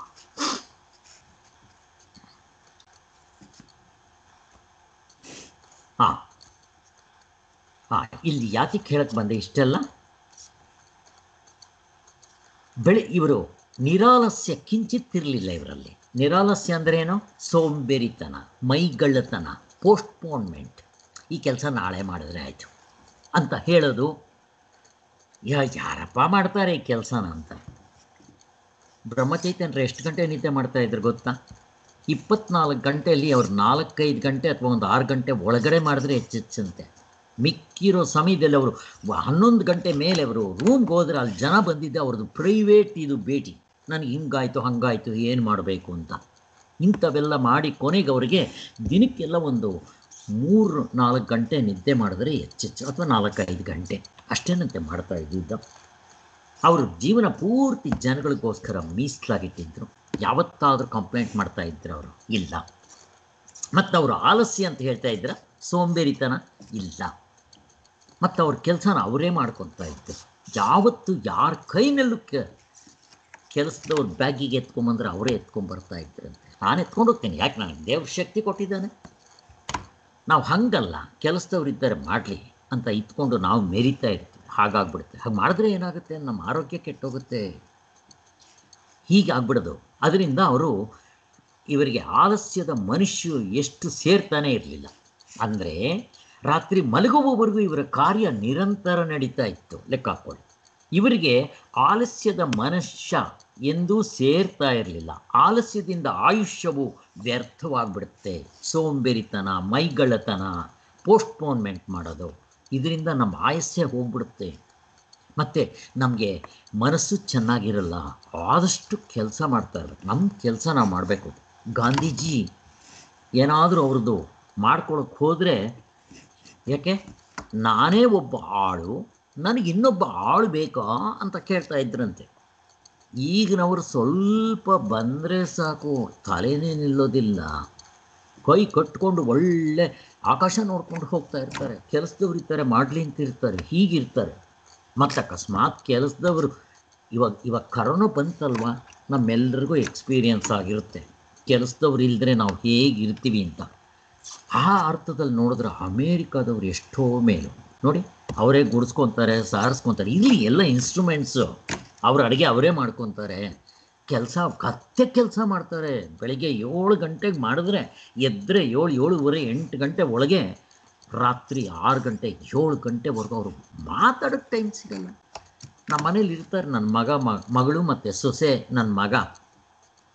ಮನೇಲೇ ಇರ್ತಾರೆ. ಅವ್ರ ಆಫೀಸ್ಗೆ ಹೋದರೆ ಕತೆ ಗೊತ್ತಿಲ್ಲ. ನಮಗೆ ಇವಾಗ ಮನೇಲೇ ಇರ್ತಾರಲ್ವ? ಇಲ್ಲಿ ನಮ್ಮ ಹತ್ರ ಒಂದು ಕಾಲು ಗಂಟೆ ಮಾತಾಡಲಿ ನೋಡೋಣ ಅವ್ರ ಆಫೀಸ್ ಟೈಮ್ನಲ್ಲಿ ಊಟಕ್ಕೆ ಬರ್ತಾರೆ, ಮಗಳು, ಅವರು ಟೇಬಲ್ ಮೇಲೆ ಕೂತ್ಕೊತಾರೆ. ಅವಾಗ ಎಷ್ಟೋ, ಅಷ್ಟೇ ಒಂದೆರಡು ನಿಮಿಷ ಮಾತಾಡೋದು. ಊಟ ಆದಮೇಲೆ ಹೊರಗಡೆ, ಅಲ್ಲೇ ಒಳಗಡೆ ನಮ್ಮದು ಮನೆಯಲ್ಲಿ ಗಿಡಗಳದ್ದು ಇದೆಯಲ್ಲ. ಅಲ್ಲಿ ಒಂದು ರೌಂಡ್ ಹಾಕೊಂಡು ತಿರ್ಗಿ ಹೋಗ್ಬಿಡ್ತಾರೆ ಕೆಲಸಕ್ಕೆ. ಅವ್ರ ಹತ್ರ ನಾವು ಜಾಸ್ತಿ ಮಾತಾಡೋಕ್ಕೆ ಆಗೋದಿಲ್ಲ. ನಮ್ದು ಏನು ಮಾಡ್ ಮಾತಾಡೋಕ್ಕೆ ಹೋಗಲ್ಲ. ಕೆಲಸ ಏಳು ಗಂಟೆಗೋ ಏನೋ ಮುಗಿದ ಮೇಲೆ ಬರ್ತಾರೆ. ಹಾರ್ಡ್ ವರ್ಕ್ ಮಾಡ್ತಾರೆ ನಮ್ಮ ನಮ್ಮ ಥರ ಸೋಂಬೇರಿಗಳಲ್ಲ ಅವರು. ಕಲಿಬೇಕು ನಾವು ಅಮೇರಿಕಾದವರಿಂದ. ವಿವೇಕಾನಂದರು ಆವಾಗಲೇ ಹೇಳಿದ್ರು ಇನ್ನೂರು ವರ್ಷಗಳಿಂದೆ ನಮ್ಮ ಅಮೇರಿಕಾಗೆ ಹೋಗ್ಬಿಟ್ಟು ಬಂದು ನಮ್ಮ ದೇಶಕ್ಕೆ ಬಂದು ಹೇಳಿದ್ರು ಅವ್ರೇನು ಗೊತ್ತಾ? ಎದ್ದೇಳಿ ಭಾರತೀಯರೇ. ನೀವಿನ್ನೂ ಮಲಗಿದ್ದೀರಾ? ನೀವು ತಮೋಗುಣದಲ್ಲಿದ್ದೀರಾ? ಅವರು ರಜೋಗುಣದಲ್ಲಿದ್ದಾರೆ. ಯಾವಾಗ ರಜೋಗುಣದಲ್ಲಿದ್ದಾರೋ ಸತ್ವಗುಣಕ್ಕೆ ಇನ್ನೇನು ಒಂದು ಮೆಟ್ಲು ಸತ್ವಗುಣದಿಂದ ಗುಣಾತೀತರಾಗ್ಬಿಡ್ತಾರೆ ಅಂತ ಹೇಳ್ತಾ ಇದ್ರಂತೆ. ಅವಾಗ ಬಂದವ್ರು ಹೇಳಿದ್ದೆ, ಎದ್ದೇಳಿ ಭಾರತೀಯರೇ, ಮಲಗಿದ್ದೀರಾ ನೀವು ಅಂತ. ಯಾಕೆಂದರೆ ಅವ್ರು ನೋಡಿದ್ರು ಆ ಜನಗಳನ್ನೆಲ್ಲ ಹಾಗೆ. ಆದ್ದರಿಂದ ಇವರು ರಾತ್ರಿ ಒಂದು ಐದಾರು ಗಂಟೆ ಮಲಗಿದ್ರೆ ಹೆಚ್ಚೆಚ್ಚು ಅಷ್ಟೇ ಮಲಗ್ತಾ ಇದ್ದಿದ್ದು ಆಲಸ್ಯದಿಂದ ಆಯುಷ್ಯವು ವ್ಯರ್ಥ ಹೋಗ್ಬಿಡುತ್ತೆ. ನಮ್ಮ ಕೆಲಸ ನಾವು ಮಾಡ್ಕೋಬೇಕು. ಗಾಂಧೀಜಿದು. One should earn his bread out of his sweat ಎಷ್ಟು ಚೆನ್ನಾಗಿದೆ ಗಾಂಧೀಜಿದು. ಪ್ರತಿಯೊಬ್ಬನು ಅವನಿಗೆ ಬೇಕಾಗಿರೋದು ಕಷ್ಟಪಟ್ಟು ದುಡ್ಕೋಬೇಕು ಅಂತ ಹೇಳ್ತಾರೆ. ಆಲಸ್ಯ, ಆಲಸ್ಯದಿಂದ ಆಯುಷು ವ್ಯರ್ಥ ಆಗ್ಬಿಡುತ್ತೆ. ನಾವು ಸೋಂಬೇರಿಗಳಾಗ್ಬಿಟ್ರೆ ಹಾಳಾಗೋಗ್ಬಿಡ್ತೀವಿ. ಒಂದು ಕಡೆ ದೇಹ ಹಾಳಾಗೋಗುತ್ತೆ. ಎರಡನೇ ಕಡೆ ಮನಸ್ಸು ಕೆಟ್ಟು ಹೋಗುತ್ತೆ ಯಾಕೆ? ಮನಸ್ಸಿಗೆ ಕೆಲಸ ಇರಬೇಕು, ದೇಹಕ್ಕೂ ಅಷ್ಟೇ ಕೆಲಸ ಇರಬೇಕು. ಕೆಲಸ ಮಾಡ್ತಾ ಇದ್ರೇ ಆರೋಗ್ಯ ಚೆನ್ನಾಗಿರೋದು. ಇದು. ತಮಗುಣಕ್ಕೆ ಹೋಗ್ಬಿಡ್ತೀವಿ ನಾವು. ಆದ್ದರಿಂದ ಹೋಗುತ್ತದೆ. ಆಲಸ್ಯದಿಂದ ಆಯುಷ್ಯವು ವ್ಯರ್ಥವಾಗುತ್ತದೆ. ಪ್ರಪಂಚವೇ ನಾಶವಾಗುತ್ತದೆಂದ ಮೇಲೆ ಪರಮಾರ್ಥ ತತ್ವವು ಇಲ್ಲದಿಂದ ಆಗ್ಬಿಡುತ್ತೆ. ಬೇರೆ ಏನು ಹೇಳಬೇಕು? ಪರಮಾರ್ಥ ತತ್ವ ತುಂಬ ದೂರ ಆಗ್ಬಿಡುತ್ತೆ. ಯಾಕೆ? ಸೋಂಬೇರಿ ತಂದಿಂದ ನಾವು ಹೋದರೆ ಸಾಕು. ನಮ್ಗೆ ಇನ್ನೊಬ್ಬ ಆಳು ಇರೋದೊಂದು ಬ್ಯಾಗು ಬ್ಯಾಗ್ ಎತ್ಕೊಂಡ್ಬರ್ಬೇಕಾದ್ರೆ ನಾವು ಕಾರಿಂದ ನಮ್ಗೆ ಇನ್ನೊಬ್ಬ ಆಳು ಬೇಕಾ? ಗಾಂಧೀಜಿಗೆ ಹಿಂಗೇನಾದರೂ ಹಣ್ಣು ಹಚ್ಕೊಳಕ್ಕೆ ಹೋದಾಗ ನಾನೇ ಒಬ್ಬ ಆಳು ನನಗೆ ಇನ್ನೊಬ್ಬ ಆಳು ಬೇಕಾ? ಅಂತ ಹೇಳ್ತಾ ಇದ್ರಂತೆ. ಕೆಲವು ಗಾಂಧೀಜಿಯಿಂದ ಇಂಥವೆಲ್ಲ ಕಲ್ತ್ಕೋಬೇಕು ನಾವು. ಆಲಸ್ಯ ಧೈನ್ಯತೆ ಸೋಂಬೇರಿತನ, ಮೈಗಳ್ಳತನ ಪೋಸ್ಟ್ಪೋನ್ ಮಾಡೋದು ಇದು ತಮೋಗುಣದ ಲಕ್ಷಣ. ಹಾಗೂ ಅಕಾರಣ ದುಃಖಕ್ಕೀಡಾಗ್ತೀವಿ ದುಃಖಕ್ಕೀಡಾಗ್ತೀವಿ. ಮತ್ತು ಬೇಗ ಸತ್ತೋಗ್ತೀವಿ ನಾವು. ಸೋಂಬೇರಿತನ ಇದ್ದರೆ ಬೇಗ ಸತ್ತೋಗ್ಬಿಡ್ತಾರೆ. ಯಾಕೆ? ದೇಹ ಮತ್ತು ಮನಸ್ಸು ಯಾವತ್ತು ಚಟುವಟಿಕೆಯಿಂದ, ಲವಲವಿಕೆಯಿಂದ ಇರಬೇಕು. ಇದ್ರೇ ಅದು ಆರೋಗ್ಯವಾಗಿರೋದು. ನಮ್ಮ ಕೆಲಸ ನಾವು ಮಾಡ್ಕೋಬೇಕು. ಗುಡಿಸೋದು, ಸಾರಿಸೋದು, ಎಲ್ಲ ನಾವು ಮಾಡಿಕೊಂಡ್ರೇ ಒಳ್ಳೆಯದು ಸೊ ನನಗೆ ಈ ವಿಚಾರಗಳು ತಿಳಿದ ಮೇಲೆ ನಾನು ಸಜ್ಜನರಾವ್ ಸರ್ಕಲ್ ನಾನು ಕ್ಲಿನಿಕ್ ಇತ್ತು. ಮೊದಲು ಕೆಲವು ವರ್ಷ ಒಬ್ಬ ಕೆಲಸದವನ್ನ ಇಟ್ಕೊಂಡಿದ್ದೆ. ಇಬ್ಬರು ಕೆಲಸದವ್ರು ಇದ್ದರು ಕೊನೆ ಕೊನೆಗೆ ಎಲ್ಲ ಕೆಲಸದವ್ರು ಯಾರನ್ನೂ ಇಟ್ಕೊಂಡ್ಲಿಲ್ಲ ನನ್ನ ಕೆಲಸ ನಾನೇ ಮಾಡ್ಕೊತಾ ಇದ್ದೆ. ನನ್ನ ಕ್ಲಿನಿಕ್ ನಾನೇ ಗುಡಿಸ್ಕೊತಾ ಇದ್ದೆ. ನಾನೇ ಸಾರಿಸ್ಕೊತಾ ಇದ್ದೆ. ನಾನೇ ಗುಡಿಸ್ಕೊತಾ ಇದ್ದೆ. ಎಷ್ಟೋ ಜನ ಪೇಷಂಟ್ಗಳು ಬಂದು ನನ್ನೇ ಕೇಳ್ತಾ ಇದ್ರು, ಡಾಕ್ಟ್ರ್ ಯಾವಾಗ ಬರ್ತಾರೆ ಸರ್ ಅಂತ? ಕೂತ್ಕೊಳ್ಳಿ, ಬರ್ತಾರೆ ಅಂತ ಹೇಳಿಬಿಟ್ಟು ಗುಡಿಸ್ಬಿಟ್ಟು ಒಳಗಡೆ ಕೈ ತೊಳ್ಕೊಂಡು ಕರೆದ್ರೆ, ಸರ್, ನೀವೇನೋ ಡಾಕ್ಟ್ರು? ಅಂತ ಕೇಳ್ತಾ ಇದ್ರು. ಹೌದಪ್ಪ, ಅಂತ ಇದ್ದೆ. ಏನು ಸರ್, ನೀವೇ ಗುಡಿಸ್ತೀರಾ? ಅಂದರು. ಸ್ವಲ್ಪ ಎಕ್ಸರ್ಸೈಸ್ ಆಗಲಿ ಅಂತ. ನಮ್ಮ ಕೆಲಸ ನಾವು ಮಾಡ್ಕೊಳ್ಳೋದಕ್ಕೆ ನಾಚಿಕೆ. ಮೊದಲು ಮೊದಲು ನನಗೆ ನಾಚಿಕೆ ಸ್ವಭಾವ ಇತ್ತು. ಇದು ಆಧ್ಯಾತ್ಮಕ್ಕೆ ಬಂದರೆ ಹೋಗ್ಬಿಡುತ್ತೆ. ಒಂದು ಸಾರಿ ಹೇಳ್ತೀನಿ ನೋಡಿ, ಎಷ್ಟು ನಾಚಿಕೆ ಇತ್ತು ನನಗೆ ಅನ್ನೋದಕ್ಕೆ ಹೊಸದಾಗಿ ಮದುವೆ ಆಗಿದೆ. ನಮ್ಮ ಸಜ್ಜನರಾವ್ ಸರ್ಕಲ್ನಲ್ಲಿ ನಮ್ಮದು ಮೆಡಿಕಲ್ ಶಾಪ್ ಇತ್ತು. ನಮ್ಮ ಮನೆ ಅಲ್ಲಿಂದ ಒಂದು ಇಪ್ಪತ್ತು ಹೆಜ್ಜೆ ಮೂವತ್ತು ಹೆಜ್ಜೆ ಮನೆ. ಅಷ್ಟೇ ದೂರ ಎನ್ನೆ ಎಂ ಹೆಚ್ಚಿಂದಗಡೆ ಸಜ್ಜನರಾವ್ ಸರ್ಕಲ್ ನಮ್ಮ ಮೆಡಿಕಲ್ ಶಾಪ್. ಒಂದು ಬ್ಯಾಗ್ ಇದೆ, ಮನೆಗೆ ತೊಗೊಂಡು ಹೋಗ್ಬೇಕು ನಾನು, ನನ್ನ ಹೆಂಡತಿ ಇಬ್ಬರು ಇದ್ದೀವಿ. ನಾನು, ನನ್ನ ಹೆಂಡತಿಗೆ ನೀನು ತಗೋ ಬ್ಯಾಗ್ ಅಂತ ಎತ್ಕೊಂಬರೋದಕ್ಕೆ. ನನ್ನ ಹೆಂಡತಿ ನೀನು ತಗೋ ಅಂತ. ನನಗೇನು ಗೊತ್ತಾ? ಡಾಕ್ಟ್ರು ಬ್ಯಾಗ್ ಎತ್ಕೊಂಬರ್ಬೋದಾ? ಅಹಂಕಾರ, ಗರ್ವ, ಇದೆ ಹೇಳೋದು. ಈಗ ನಾನು ಒಂದು ಬ್ಯಾಗ್ ಏನಾದರೂ ಕೊಟ್ಟರೆ ತಲೆ ಮೇಲೆ ಇಟ್ಕೊಂಡು ಹೋಗ್ಬಿಡ್ತೀನಿ. ಸೈಕಲ್ನಲ್ಲಿ ಹೋಗ್ತೀನಿ, ಕ್ಲಿನಿಕ್. ಎಲ್ಲರೂ ಕೇಳ್ತಾರೆ, ಏನು ಡಾಕ್ಟ್ರೆ ನೀವು ಸೈಕಲ್ನಲ್ಲಿ ಬರ್ತೀರಾ ಅಂತ? ನಾನು ಹಂಗೆ ಕೇಳ್ತಾ ಇದ್ರು ಸೈಕಲ್ನಲ್ಲಿ. ಸೈಕಲ್ ಡಾಕ್ಟ್ರ್ ಅಂತಲೇ ಕರೆಯೋದು ಇವಾಗಲೂ ಸಜ್ಜನರಾವ್ ಸರ್ಕಲ್ನಲ್ಲಿ. ಬರೀ ಡಾಕ್ಟ್ರ್ ಅಂದ್ರೆ ಗೊತ್ತಾಗೋದಿಲ್ಲ. ಸೈಕಲ್ ಡಾಕ್ಟ್ರ್ ಅಂತಾರೆ ಅವರು. ಹಾಗೆ. ನಾನು ಕ್ಲಿನಿಕ್ ನಾನೇ ಕುಡಿಸ್ಕೊತಾ ಇದ್ದೆ, ನಾನೇ ಒರೆಸ್ಕೊತಾ ಇದ್ದೆ, ಕ್ಲೀನ್ ಮಾಡ್ಕೊತಾ ಇದ್ದೆ, ಪ ಇವೆಲ್ಲ ನಾನೇ ತೊಳ್ ವಾಶ್ ಬೇಸನ್ ನಾನೇ ತೊಳ್ಕೊತಾ ಇದ್ದೆ. ಎಷ್ಟು ಚೆನ್ನಾಗಿರುತ್ತೆ ನಮ್ಮ ಕೆಲಸ ನಾವು ಮಾಡ್ಕೊಳ್ಳೋದಕ್ಕೆ. One should earn his bread and he should work according to him ಸೋಂಬೇರಿತನ ಕಿಂಚಿತ್ ಇರೋದಿಲ್ಲ. ಲವಲವಿಕೆಯಿಂದ ಇರ್ತೀರಾ ಆ್ಯಕ್ಟಿವ್ ಆಗಿರ್ತೀರಾ, ಹೀಗಿರಬೇಕು. ಇಲ್ಲಿ ನಮ್ಮ ಇವರಿದ್ದಾರೆ ಇಲ್ಲಿ, ರತ್ನಮ್ನವರು ಅಂತ. ಅವರು ಅಷ್ಟೇ. ಅವ್ರ ಮನೆಯಲ್ಲಿ ಅವ್ರ ಮಕ್ಕಳನ್ನ ಹಾಗೆ ಬೆಳೆಸಿದ್ದಾರೆ. ಅವ್ರು ಹೇಳ್ತಾರೆ, ಅವ್ರ ಅತ್ತೆಯಿಂದ ಕಲ್ತಿದ್ದಂತೆ ಮನೆಯಲ್ಲಿ ಒಬ್ಬರು ಕೆಲಸದವರಿಲ್ಲ. ಅವರು ಅವ್ರ ಮಗಳನ್ನೂ ಹಾಗೆ ಬೆಳೆಸಿದ್ದಾರೆ. ಈಗ ಆ ರತ್ನಮ್ನವರು ಅವರ ಮಗಳು ನಮ್ಮ ಮನೆ ಸೆಕೆಂಡ್ ಫ್ಲೋರಿಗೆ ಬಂದಿದ್ದಾರೆ. ಇಬ್ಬರು ಮಕ್ಕಳು. ಎಷ್ಟು ಕೆಲಸ ಮಾಡ್ತಾರೆ ಅಂತ ಅವರು? ನನಗೆ ಆಶ್ಚರ್ಯ ಆಯಿತು. ನಾವು ಇಷ್ಟು ವರ್ಷಗಳಿಂದ ಮನೆಗಳು ಬಾಡಿಗೆ ಕೊಡ್ತೀವಿ. ಚಿಕ್ಕ ಮಕ್ಕಳು ಒಬ್ಬರು ಹತ್ತು ವರ್ಷ ಇನ್ನೊಬ್ಳು ಏಳು ವರ್ಷ ಇರಬೇಕಷ್ಟೇ. ಆ ಫಸ್ಟ್ ಫ್ಲೋರೆಲ್ಲ ಕ್ಲೀನಾಗಿ ಗುಡಿಸ್ಬಿಟ್ರು ಎಲ್ಲರೂ ಇಬ್ಬರು ಸೇರ್ಕೊಂಡು ಕ್ಲೀನಾಗಿ ಗುಡಿಸಿದ್ರು. ನನಗೆ ಎಷ್ಟು ಸಂತೋಷ ಆಯಿತು ಅಂತ. ಯಾರಮ್ಮ ನಿಮ್ಮ ತಂದೆ ತಾಯಿಗಳು ಅಂತ ಕೇಳಬೇಕು. ಹಾಗೆ. ತಂದೆ ತಾಯಿಗಳ ಗುಣ ಮಕ್ಕಳಲ್ಲಿ ಕಾಣುತ್ತೆ. ಗುರುವಿನ ಗುಣ ಶಿಷ್ಯರಲ್ಲಿ ಕಾಣುತ್ತೆ. ಹಾಗೆ. ಮತ್ತು ಆಯಮ್ಮ ಅವರು ಇಲ್ಲೇ ಇದ್ದಾರೆ, ರತ್ನಮ್ಮನವರು. ಅವರು ಹೇಳಿದ್ದು, ನಮ್ಮ ಕೆಲಸದವ್ರಿಗೆ ಯಾರನ್ನ ಇಟ್ಕೊಂಡು? ನಮ್ಮ ಮನೇಲಿ ನಾವೇ ಕೆಲಸ ಮಾಡ್ತೀವಿ ಅಂತ ಹೇಳ್ತಾ ಇದ್ರು. ಅವ್ರ ಮಗಳನ್ನೂ ಹಾಗೆ ಬೆಳೆಸಿದ್ರು. ಅವ್ರ ಮಗಳು ಅವ್ರ ಮಕ್ಕಳನ್ನ ಹಾಗೆ ಬೆಳೆಸ್ತಾ ಇದ್ದಾರೆ. ಸೋಂಬೇರಿತನ ಅನ್ನೋದಿರೋದಿಲ್ಲ ಆಲಸ್ಯ ಇರೋದಿಲ್ಲ, ಆರೋಗ್ಯ ಚೆನ್ನಾಗಿರುತ್ತೆ, ಚಟುವಟಿಕೆಯಿಂದ ಇರ್ತೀವಿ, ಲವಲವಿಕೆಯಿಂದ ಇರ್ತೀವಿ. ನಮ್ಮ ಇವಾಗ ಏನಾಗ್ಬಿಟ್ಟಿದೆ ಅಂತಂದರೆ, ಎಲ್ಲಾದರೂ ಹೋದರೆ ಇವರು ಚೀಲ ಎತ್ಕೊಂಡು ಹೋಗೋದಕ್ಕೆ ಇನ್ನೊಬ್ಬ ಆಡಬೇಕು ಯಾಕೆ ಹೇಳ್ತಾ ಇದ್ದೀನಿ ಇಷ್ಟೆಲ್ಲ ಅಂತಂದರೆ, ನಮಗೆ ಅಹಂಕಾರ ಅನ್ನೋದು ಮೇಲ್ಗಡೆ ಇರುತ್ತೆ. ನನಗಿತ್ತು. ಆ ಬ್ಯಾಗ್ ತೊಗೊಂಬರ್ಬೇಕಾದ್ರೆ ನೀನು ತಗೋಂತ ನಾನು ನಾನು ನಾನು, ಅಯ್ಯೋ, ಡಾಕ್ಟ್ರು ನಾನು ಬ್ಯಾಗ್ ಎತ್ಕೊಂಡು ಹೋದ್ರೆ ಹೆಂಗೆ? ರಾತ್ರಿ ಹೊತ್ತು ಯಾರು ನೋಡ್ತಾರೆ? ಹೇಳಬೇಕು ಅಂದರೆ. ರಾತ್ರಿ ಹೊತ್ತು. ಒಂಬತ್ತು ಗಂಟೆ, ಹತ್ತು ಗಂಟೆ ಮೆಡಿಕಲ್ ಶಾಪ್ ಮುಚ್ಚಿದ ಮೇಲೆ, ನನ್ನ ಹೆಂಡ್ತಿ ನೀನು ತಗೋ ಅಂತ. ಅದೇ ಈಗ ಒಂದು ಚೀಲ ಬೇಕಾದರೆ ತಲೆ ಮೇಲೆ ಇಟ್ಕೊಂಡು ಸಜ್ಜನರಾವ್ ಸರ್ಕಲ್ನಲ್ಲಿ ಎರಡು ರೌಂಡ್ ಬೇಕಾದರೂ ಹೊಡಿತೀವಿ ಪೇಷಂಟ್ಗಳು ಮುಂದೆನೇ ಹೊಡಿತೀವಿ ಏನಾಗುತ್ತೆ? ಇವಾಗ ಆಸ್ಟಪ್ದಲ್ಲಿ ಹಂಗೆಲ್ಲ ಮಾಡ್ತೀವಿ. ಏನೂ ಅನ್ಸಲ್ಲ. ಇನ್ನೂ ಆರೋಗ್ಯ ಚೆನ್ನಾಗಾಗುತ್ತೆ. ಸೈಕಲ್ ತುಳಿಬೇಕಾದ್ರೆ ಅವಮಾನ ನನಗೆ. ದಾವಣಗೆರೆಯಿಂದ ಬಂದ್ವಿ, ಇನ್ನೂ ಡಾಕ್ಟ್ರ್ ಸರ್ಟಿಫಿಕೇಟ್ ಬಂದಿಲ್ಲ, ಮಣ್ಣು ಬಂದಿಲ್ಲ. ರೈಲ್ವೆ ಸ್ಟೇಷನಲ್ಲಿ ಸೈಕಲ್ ಬಂದಿದೆ. ಸೈಕಲ್ ತಗೊಂಡು ಮನೆಗೆ ಬರಬೇಕಾದ್ರೆ ಬೆಂಗಳೂರು ರೈಲ್ವೆ ಸ್ಟೇಷನಿಂದ ನಮ್ಮ ಮನೆ ಹತ್ರ ಬಂದರೆ ನನಗೆ ಯಾರು ಗುರ್ತಿಲ್ಲ ಅಲ್ಲಿ. ಬೆಂಗಳೂರು ನಮ್ಗೆ ಹೊಸ್ದು. ಯಾರೋ ಅಕ್ಕಪಕ್ಕದವ್ರು ಸ್ವಲ್ಪ ಗುರುತಾಗಿರ್ಬೋದು. ನಾನು ಸೈಕಲ್ ತುಳಿಯೋದು ನೋಡಿ ಯಾರಾದ್ರೂ ಏನಾದರೂ ಅನ್ಕೊಂತಾರೋ ಅಂತ ನಾಚಿಕೆ. ಅದೇ ಈ ಆಧ್ಯಾತ್ಮಕ್ಕೆ ಬಂದ ಮೇಲೆ ನಾಚಿಕೆ, ಈ ಮರ್ಯಾದೆಗಳು ಇವೆಲ್ಲ ನಮ್ಮದು ಇವನ್ನ ಏನಂತಾರೆ, ನಾವು ಮಾಡ್ಕೊಂಡಿರೋದು ಇದು. ಈಗ ನಾನು ಸೈಕ್, ಆಶ್, ನನ್ನ ಕ್ಲಿನಿಕ್ಗೂ ಸೈಕಲ್ನಲ್ಲಿ ಹೋಗ್ತೀನಿ. ಒಂದು ಸಾರಿ ಆಶ್ರಮಕ್ಕೂ ಹೋಗಿದ್ದೆ. ಆರ್ ಟಿ ಒಗೆ ಹೋಗ್ತಾ ಇದ್ದೆ. ಸೈಕಲ್ನಲ್ಲೇ ಹೋಗ್ತಾ ಇದ್ದೆ. ಅಲ್ಲೆಲ್ಲ ಬ್ರೋಕರ್ಗಳು. ಏನು ಡಾಕ್ಟ್ರೇ ನೀವು ಸೈಕಲ್ನಲ್ಲಿ ಬರ್ತೀರ? ಥೂ, ನಮ್ಗೆ ಅವಮಾನ ಆಗುತ್ತಪ್ಪ ಇವರು ನಮ್ಮ ಡಾಕ್ಟ್ರು ಅಂತ ಹೇಳ್ಕೊಳಕ್ಕೆ ಅಂತಂತ ಇದ್ರು. ಮೊದಲು ಮೊದಲು. ಆಮೇಲೆ ಅವ್ರಿಗೆ ಗೊತ್ತಾಯಿತು, ಸೈಕಲ್ ತುಳಿಯೋದ್ರಿಂದ ಏನಿರುತ್ತೆ ಅಂತ ಅಂದ್ಬಿಟ್ಟ ಅಲ್ಲಿ ಜಯನಗರ ಕಾಂಪ್ಲೆಕ್ಸ್ನಲ್ಲಿ ಆರ್ ಟಿ ಒ ಇದೆ, ಆಫೀಸು. ಒಟ್ಟು ಅದು ಆರು ಫ್ಲೋರೋ, ಏಳು ಫ್ಲೋರೋ ಇದೆ. ಇವರೆಲ್ಲ ಇನ್ನು ಹುಡುಗರು, ಎಲ್ಲ ಇಪ್ಪತ್ತು ವರ್ಷದವರು, ಹದಿನೆಂಟು ವರ್ಷದವರು, ಇಪ್ಪತ್ತೈದರ ಒಳಗಿರೋರು. ನನಗೆ ಅವಾಗ ಐವತ್ತು ವರ್ಷನೇನೋ. ಇಬ್ಬರು ಆ ಕಡೆ ಈ ಕಡೆ ನಿಂತ್ಕೊಳ್ರಿ ಅಂತ ಹೇಳ್ತಾ ಇದ್ದೆ. ಹತ್ತೋಣ ರೀ ಇಬ್ಬರು ಯಾರು ಫಾಸ್ಟಾಗಿ ಹತ್ತುತ್ತಾರೋ ಅಂತ ಹೇಳಿ ಹತ್ತುತ್ತಾ ಇದ್ದೆ ನಾನು. ಇವರು ಎರಡನೇ ಮಾಡಿ, ಮೂರನೇ ಮಾಡಿ ಸುಸ್ತಾಗ್ಬಿಡ್ತಾ ಇದ್ದರು ನಾನಲ್ಲಿ ದರ ದರ ದರ ದರ ಹತ್ಕೊಂಡು ಹೋಗ್ತಾ ಇದ್ದೆ.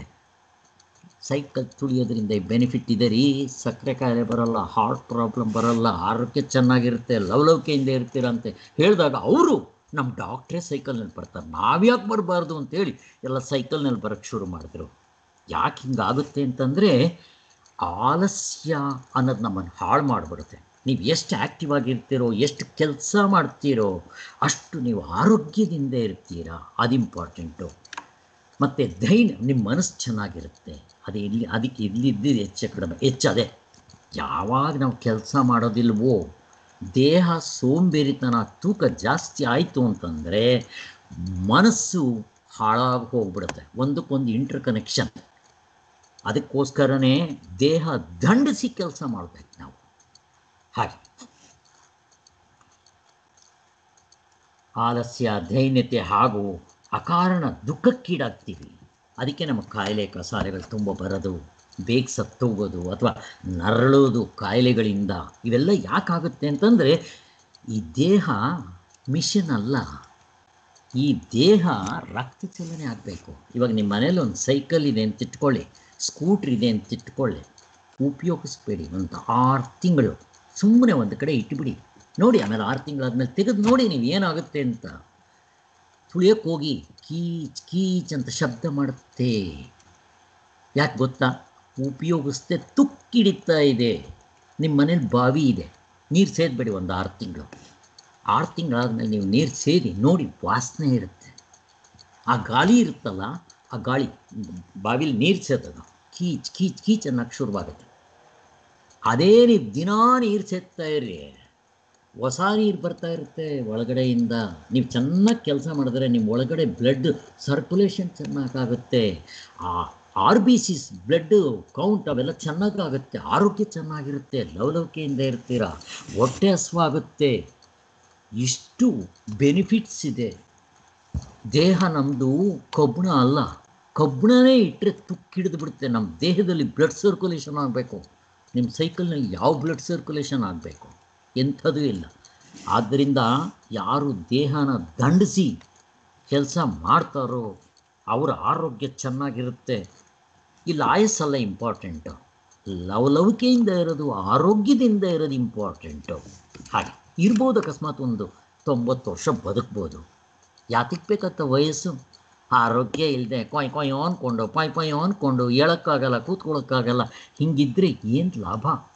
ಹಾಗೆ ಕೆಲವರು ಮನೆಗಳಲ್ಲಿ ತೊಂಬತ್ತು ವರ್ಷ ವಯಸ್ಸಾಗಿರುತ್ತೆ ಕೇಳಿ ಅವ್ರ ಸೀಕ್ರೆಟ್ ಏನಂತ ಕೇಳಿ. ನಾನು ಹಿಂಗೆ ಕೇಳೋದು, ಅವ್ರ ವಯಸ್ಸು ಜಾಸ್ತಿ ಇದೆ ಅಂದರೆ ಏನು ನಿಮ್ಮ ಸೀಕ್ರೆಟ್ ಅಂತ ಕೇಳ್ತೀನಿ. ದಿವ್ಯ ಅವ್ರ ತಾಯಿ ಇದ್ದಾರೆ. ತಾಯಿ ಅಲ್ಲ ಅಜ್ಜಿ. ಅವ್ರಿಗೂ ಅಷ್ಟೇ, ತೊಂಬತ್ತು ಎಂಬತ್ತರ ಮೇಲಾಗಿರಬೇಕು. ಇವಾಗಲೂ ಚೆನ್ನಾಗಿದ್ದಾರೆ ಅಂತ ಅವ್ರ ಕೆಲಸ ಅವರೇ ಮಾಡ್ಕೊತಾರಂತೆ. ನಾನು ಕೇಳ್ತಾ ಇರ್ತೀನಿ, ಏನಿದು ಸೀಕ್ರೆಟ್ ಅಂತ? ಕೆಲಸ ಮಾಡ್ಕೊತಾರೆ ಅವ್ರ ಕೆಲಸ, ಇವಾಗಲೂ ಮಾಡ್ತಾರೆ. ಅಡುಗೆ ಮನೇಲಿ ಎಷ್ಟಾದರೆ ಅಷ್ಟು ಕೆಲಸ ಮಾಡ್ತಾರೆ. ಎಲ್ಲ ಮಾಡ್ತಾರೆ. ಕೊನೆಗೆ ಎರಡೊತ್ತು ತಿಂತಾರೆ. ಊಟ ಕಡಿಮೆ ತಿನ್ನಬೇಕು ಒಪ್ಪತ್ತು ತಿಂಡವನು ಯೋಗಿ ಎರಡೊತ್ತು ಉಂಡವನು ಭೋಗಿ ಮೂರೊತ್ತು ತುಂಡವನು ರೋಗಿ, ನಾಲ್ಕು ತುಂಡವನು ಒತ್ಕೊಂಡೋಗಿ ಅಂತ ಶಾಸ್ತ್ರ ಹೇಳುತ್ತೆ ಯೋಗದಲ್ಲಿ. ಅದಕ್ಕೋಸ್ಕರನೇ ಯಾರು ಎಷ್ಟು ಕೆಲಸ ಮಾಡ್ತಾರೋ ಅಷ್ಟು ಆರೋಗ್ಯವಾಗಿರ್ತಾರೆ. ನಮಗೇನಾಗುತ್ತೆ ಅಂದರೆ ನಾನು ಯಾಕೆ ಆಳು ಕೆಲಸ ಮಾಡಬೇಕು ಅಂತ? ಅವಾಗ ಏನಾಗ್ಬಿಡ್ತೀವಿ? ಆಳು ಕೆಲಸ ಮಾಡೋದಿಲ್ಲ. ಹಾಳಾಗ್ಬಿಡ್ತೀವಿ ನಾವು. ಆದ್ದರಿಂದ ಇದು ಅವ್ರು ಹೇಳ್ತಾ ಇರೋದು. ಆಲಸ್ಯ, ಸೋಂಬೇರಿತನ ಇರಬಾರ್ದು. ಅವ್ರಿಗಿರಲಿಲ್ಲ ಯಾಕೆ? ಅವರೇ ಎಲೆ ಎತ್ತುತ್ತಾ ಇದ್ದರು ಬಡಿಸ್ತಾ ಇದ್ದರು ಕೊನೆಗೆ ಅವ್ರು ಊಟ ಕೂತ್ಕೊತಾ ಇದ್ದರು ಹೀಗೆಲ್ಲ ಅವ್ರು ಹೇಳ್ತಾರೆ. ಈ ಮೂರು ದುದೈವದ ಲಕ್ಷಣವಾಗಿರುತ್ತೆ. ಆಲಸ್ಯ, ದೈನ್ಯತೆ ಹಾಗೂ ಅಕಾರಣ ದುಃಖಕ್ಕೀಡಾಗೋದು. ದುಃಖನೇ ಇರಲ್ಲ ಅಲ್ಲಿ. ಸುಮ್ಮನೆ ದುಃಖ ಪಡೋದು. ಅಯ್ಯೋ ಅಂತ ಕೊರಗ್ತಾ ಇರೋದು. ಕೆಲವರಿಗೆ ಏನಿದ್ರೂ ಕೊರಗ್ತಾ ಇರ್ತಾರೆ. ಯಾತಿ ಕೊರಗ್ತೀರಾ ಅಂದರೆ, ಏನು ಕೊರಗದೇ ಇದ್ದರೆ ಮತ್ತೆ ಹೆಂಗಿರೋದು ಅಂತ ಹೇಳ್ತಾ ಇರ್ತಾರೆ. ಇದು ಅಕಾ ಅಕಾ, ಅಕಾರಣವಾಗಿ ದುಃಖಕ್ಕೀಡಾಗೋದು. ಈ ಮೂರು ಲಕ್ಷಣಗಳು ಯಾರ ಹತ್ರ ಇರುತ್ತೋ, ಅವರು ದುದೈವದಿಂದ ಇವು ಬೇಗ ಹಾಳಾಗೋಗ್ಬಿಡ್ತಾರೆ ಅಂತ. ಮನುಷ್ಯನು ಇವುಗಳಿಂದ ದೂರ ಇರಬೇಕು ಅಂದರೆ ಯಾವಾಗಲೂ ಹೇಳ್ತಾ ಇದ್ದರು ಮಹಾರಾಜರು ತಮ್ಮ ದೇಹವನ್ನು ಅತ್ಯಂತ ಮಹತ್ವದ ಕಾರ್ಯಕ್ಕಾಗಿ ಬಹಳಷ್ಟು ಸವಿಸ್ತಾ ಇದ್ದರು ಒಳ್ಳೆ ಕಾರ್ಯಕ್ಕೆ ಉಪಯೋಗಿಸ್ಕೊಂಡಿದ್ದಾರೆ ಮಹಾರಾಜರು, ಅಲ್ವಾ? ಬೆಳಗಿನಿಂದ ಸಾಯಂಕಾಲವರೆಗೂ ಕೇವಲ ಇಷ್ಟೊಂದು ಜನರಿಗೆ ಮಾತನಾಡುವ ಶ್ರಮವನ್ನು ನೋಡಿದರೆ ನಮ್ಗೆ ಆಶ್ಚರ್ಯ ಆಗ್ಬೋದು. ಅವ್ರು ಮಲಗ್ತಾ ಇದ್ದಿದ್ದೆ ನಾಲ್ಕೈದು ಗಂಟೆ. ಮಿಕ್ಕಿರೋ ಟೈಮ್ನೆಲ್ಲ ಆ್ಯಕ್ಟಿವ್ ಆಗಿರ್ತಾ ಇದ್ರು. ಮಧ್ಯಾಹ್ನದ ಹೊತ್ತೆಲ್ಲ ಒಂದು ಸ್ವಲ್ಪ ಹೊತ್ತು ಮಲಗ್ತಾ ಇದ್ರು. ಟೋಟಲ್ ಅವ್ರು ಮಲಗ್ತಾ ಇದ್ದಿದ್ದೆ ಮೂರು ಗಂಟೆನೋ ನಾಲ್ಕು ಗಂಟೆನೇ ಇರಬೇಕು. ಇಪ್ಪತ್ತು ಗಂಟೆ ಕೆಲಸ ಮಾಡ್ತಾ ಇದ್ರು ಅಂತ ಹೇಳ್ತಾರೆ. ಆದ್ದರಿಂದ ಎಲ್ಲಿ ಹೋಗುತ್ತಿದ್ದರೂ ಅಲ್ಲಿ ಉತ್ಸಾಹದ ವಾತಾವರಣ ನಗ್ನಗ್ತಾ ಇರಬೇಕು, ನಗಿಸ್ತಾ ಇರಬೇಕು. ಯಾವಾಗಲೂ ಖುಷಿಯಾಗಿರಬೇಕು. ಪ್ರಪಂಚ ಇರೋದೇ ನನಗೆ ಆಗ ಅಂದ್ಕೊಂಡು ನಾವು ದುಃಖ ಪಡೋಕ್ಕಾಗುತ್ತೆ. ಎಷ್ಟಾಯ್ತಪ್ಪ, ಏನು ಗೊತ್ತಾ? ಅಯ್ಯಯ್ಯೋ ಹನ್ನೊಂದು ಕಾಲ ಆಯಿತು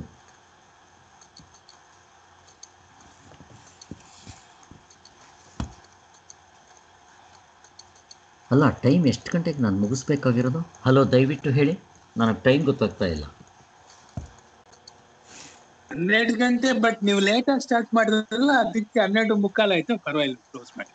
ಹನ್ನೆರಡು ಮುಕ್ಕಾಲು ಆಯ್ತಾ? Sorry I am really sorry ನಾನು ಇಲ್ಲಿ ಟೈಮ್ ನೋಡ್ತಾ ಇದ್ದೀನಿ. ಹನ್ನೊಂದು ಕಾ ಹನ್ನೊಂದು ಕಾಲು ತೋರಿಸ್ತಾ ಚೆ ಛೆ ಸ್ಟಾಪ್ ಮಾಡ್ತೀನಿ. ನನಗೆ ಟೈಮ್ ಹೋಗಲಿಲ್ಲ. ದಯವಿಟ್ಟು ತಿಳಿಸ್ರಪ್ಪ ನೀವು. ಇಲ್ಲಿಗೆ ನಿಲ್ಲಿಸೋಣ ಓಂ ಶಾಂತಿ ಶಾಂತಿ ಶಾಂತಿ. ಜೈ ಗುರುದೇವ್. ನಿಲ್ಲಿಸೋಣ ಪಾಪ ನಿಮಗೆಲ್ಲ ಇನ್ನೂ ಬೇರೆ ಕೆಲಸಗಳಿರುತ್ತೆ. ನಾವು ಟೈಮು ಕರೆಕ್ಟಾಗಿ ಮೇಂಟೈನ್ ಮಾಡೋಣ. ನನಗೆ ಸ್ವಲ್ಪ ಜ್ಞಾಪಕ ಮಾಡಿ ಕೋಪ ಆ ಥರ ಜಾಸ್ತಿ ಆದಾಗ.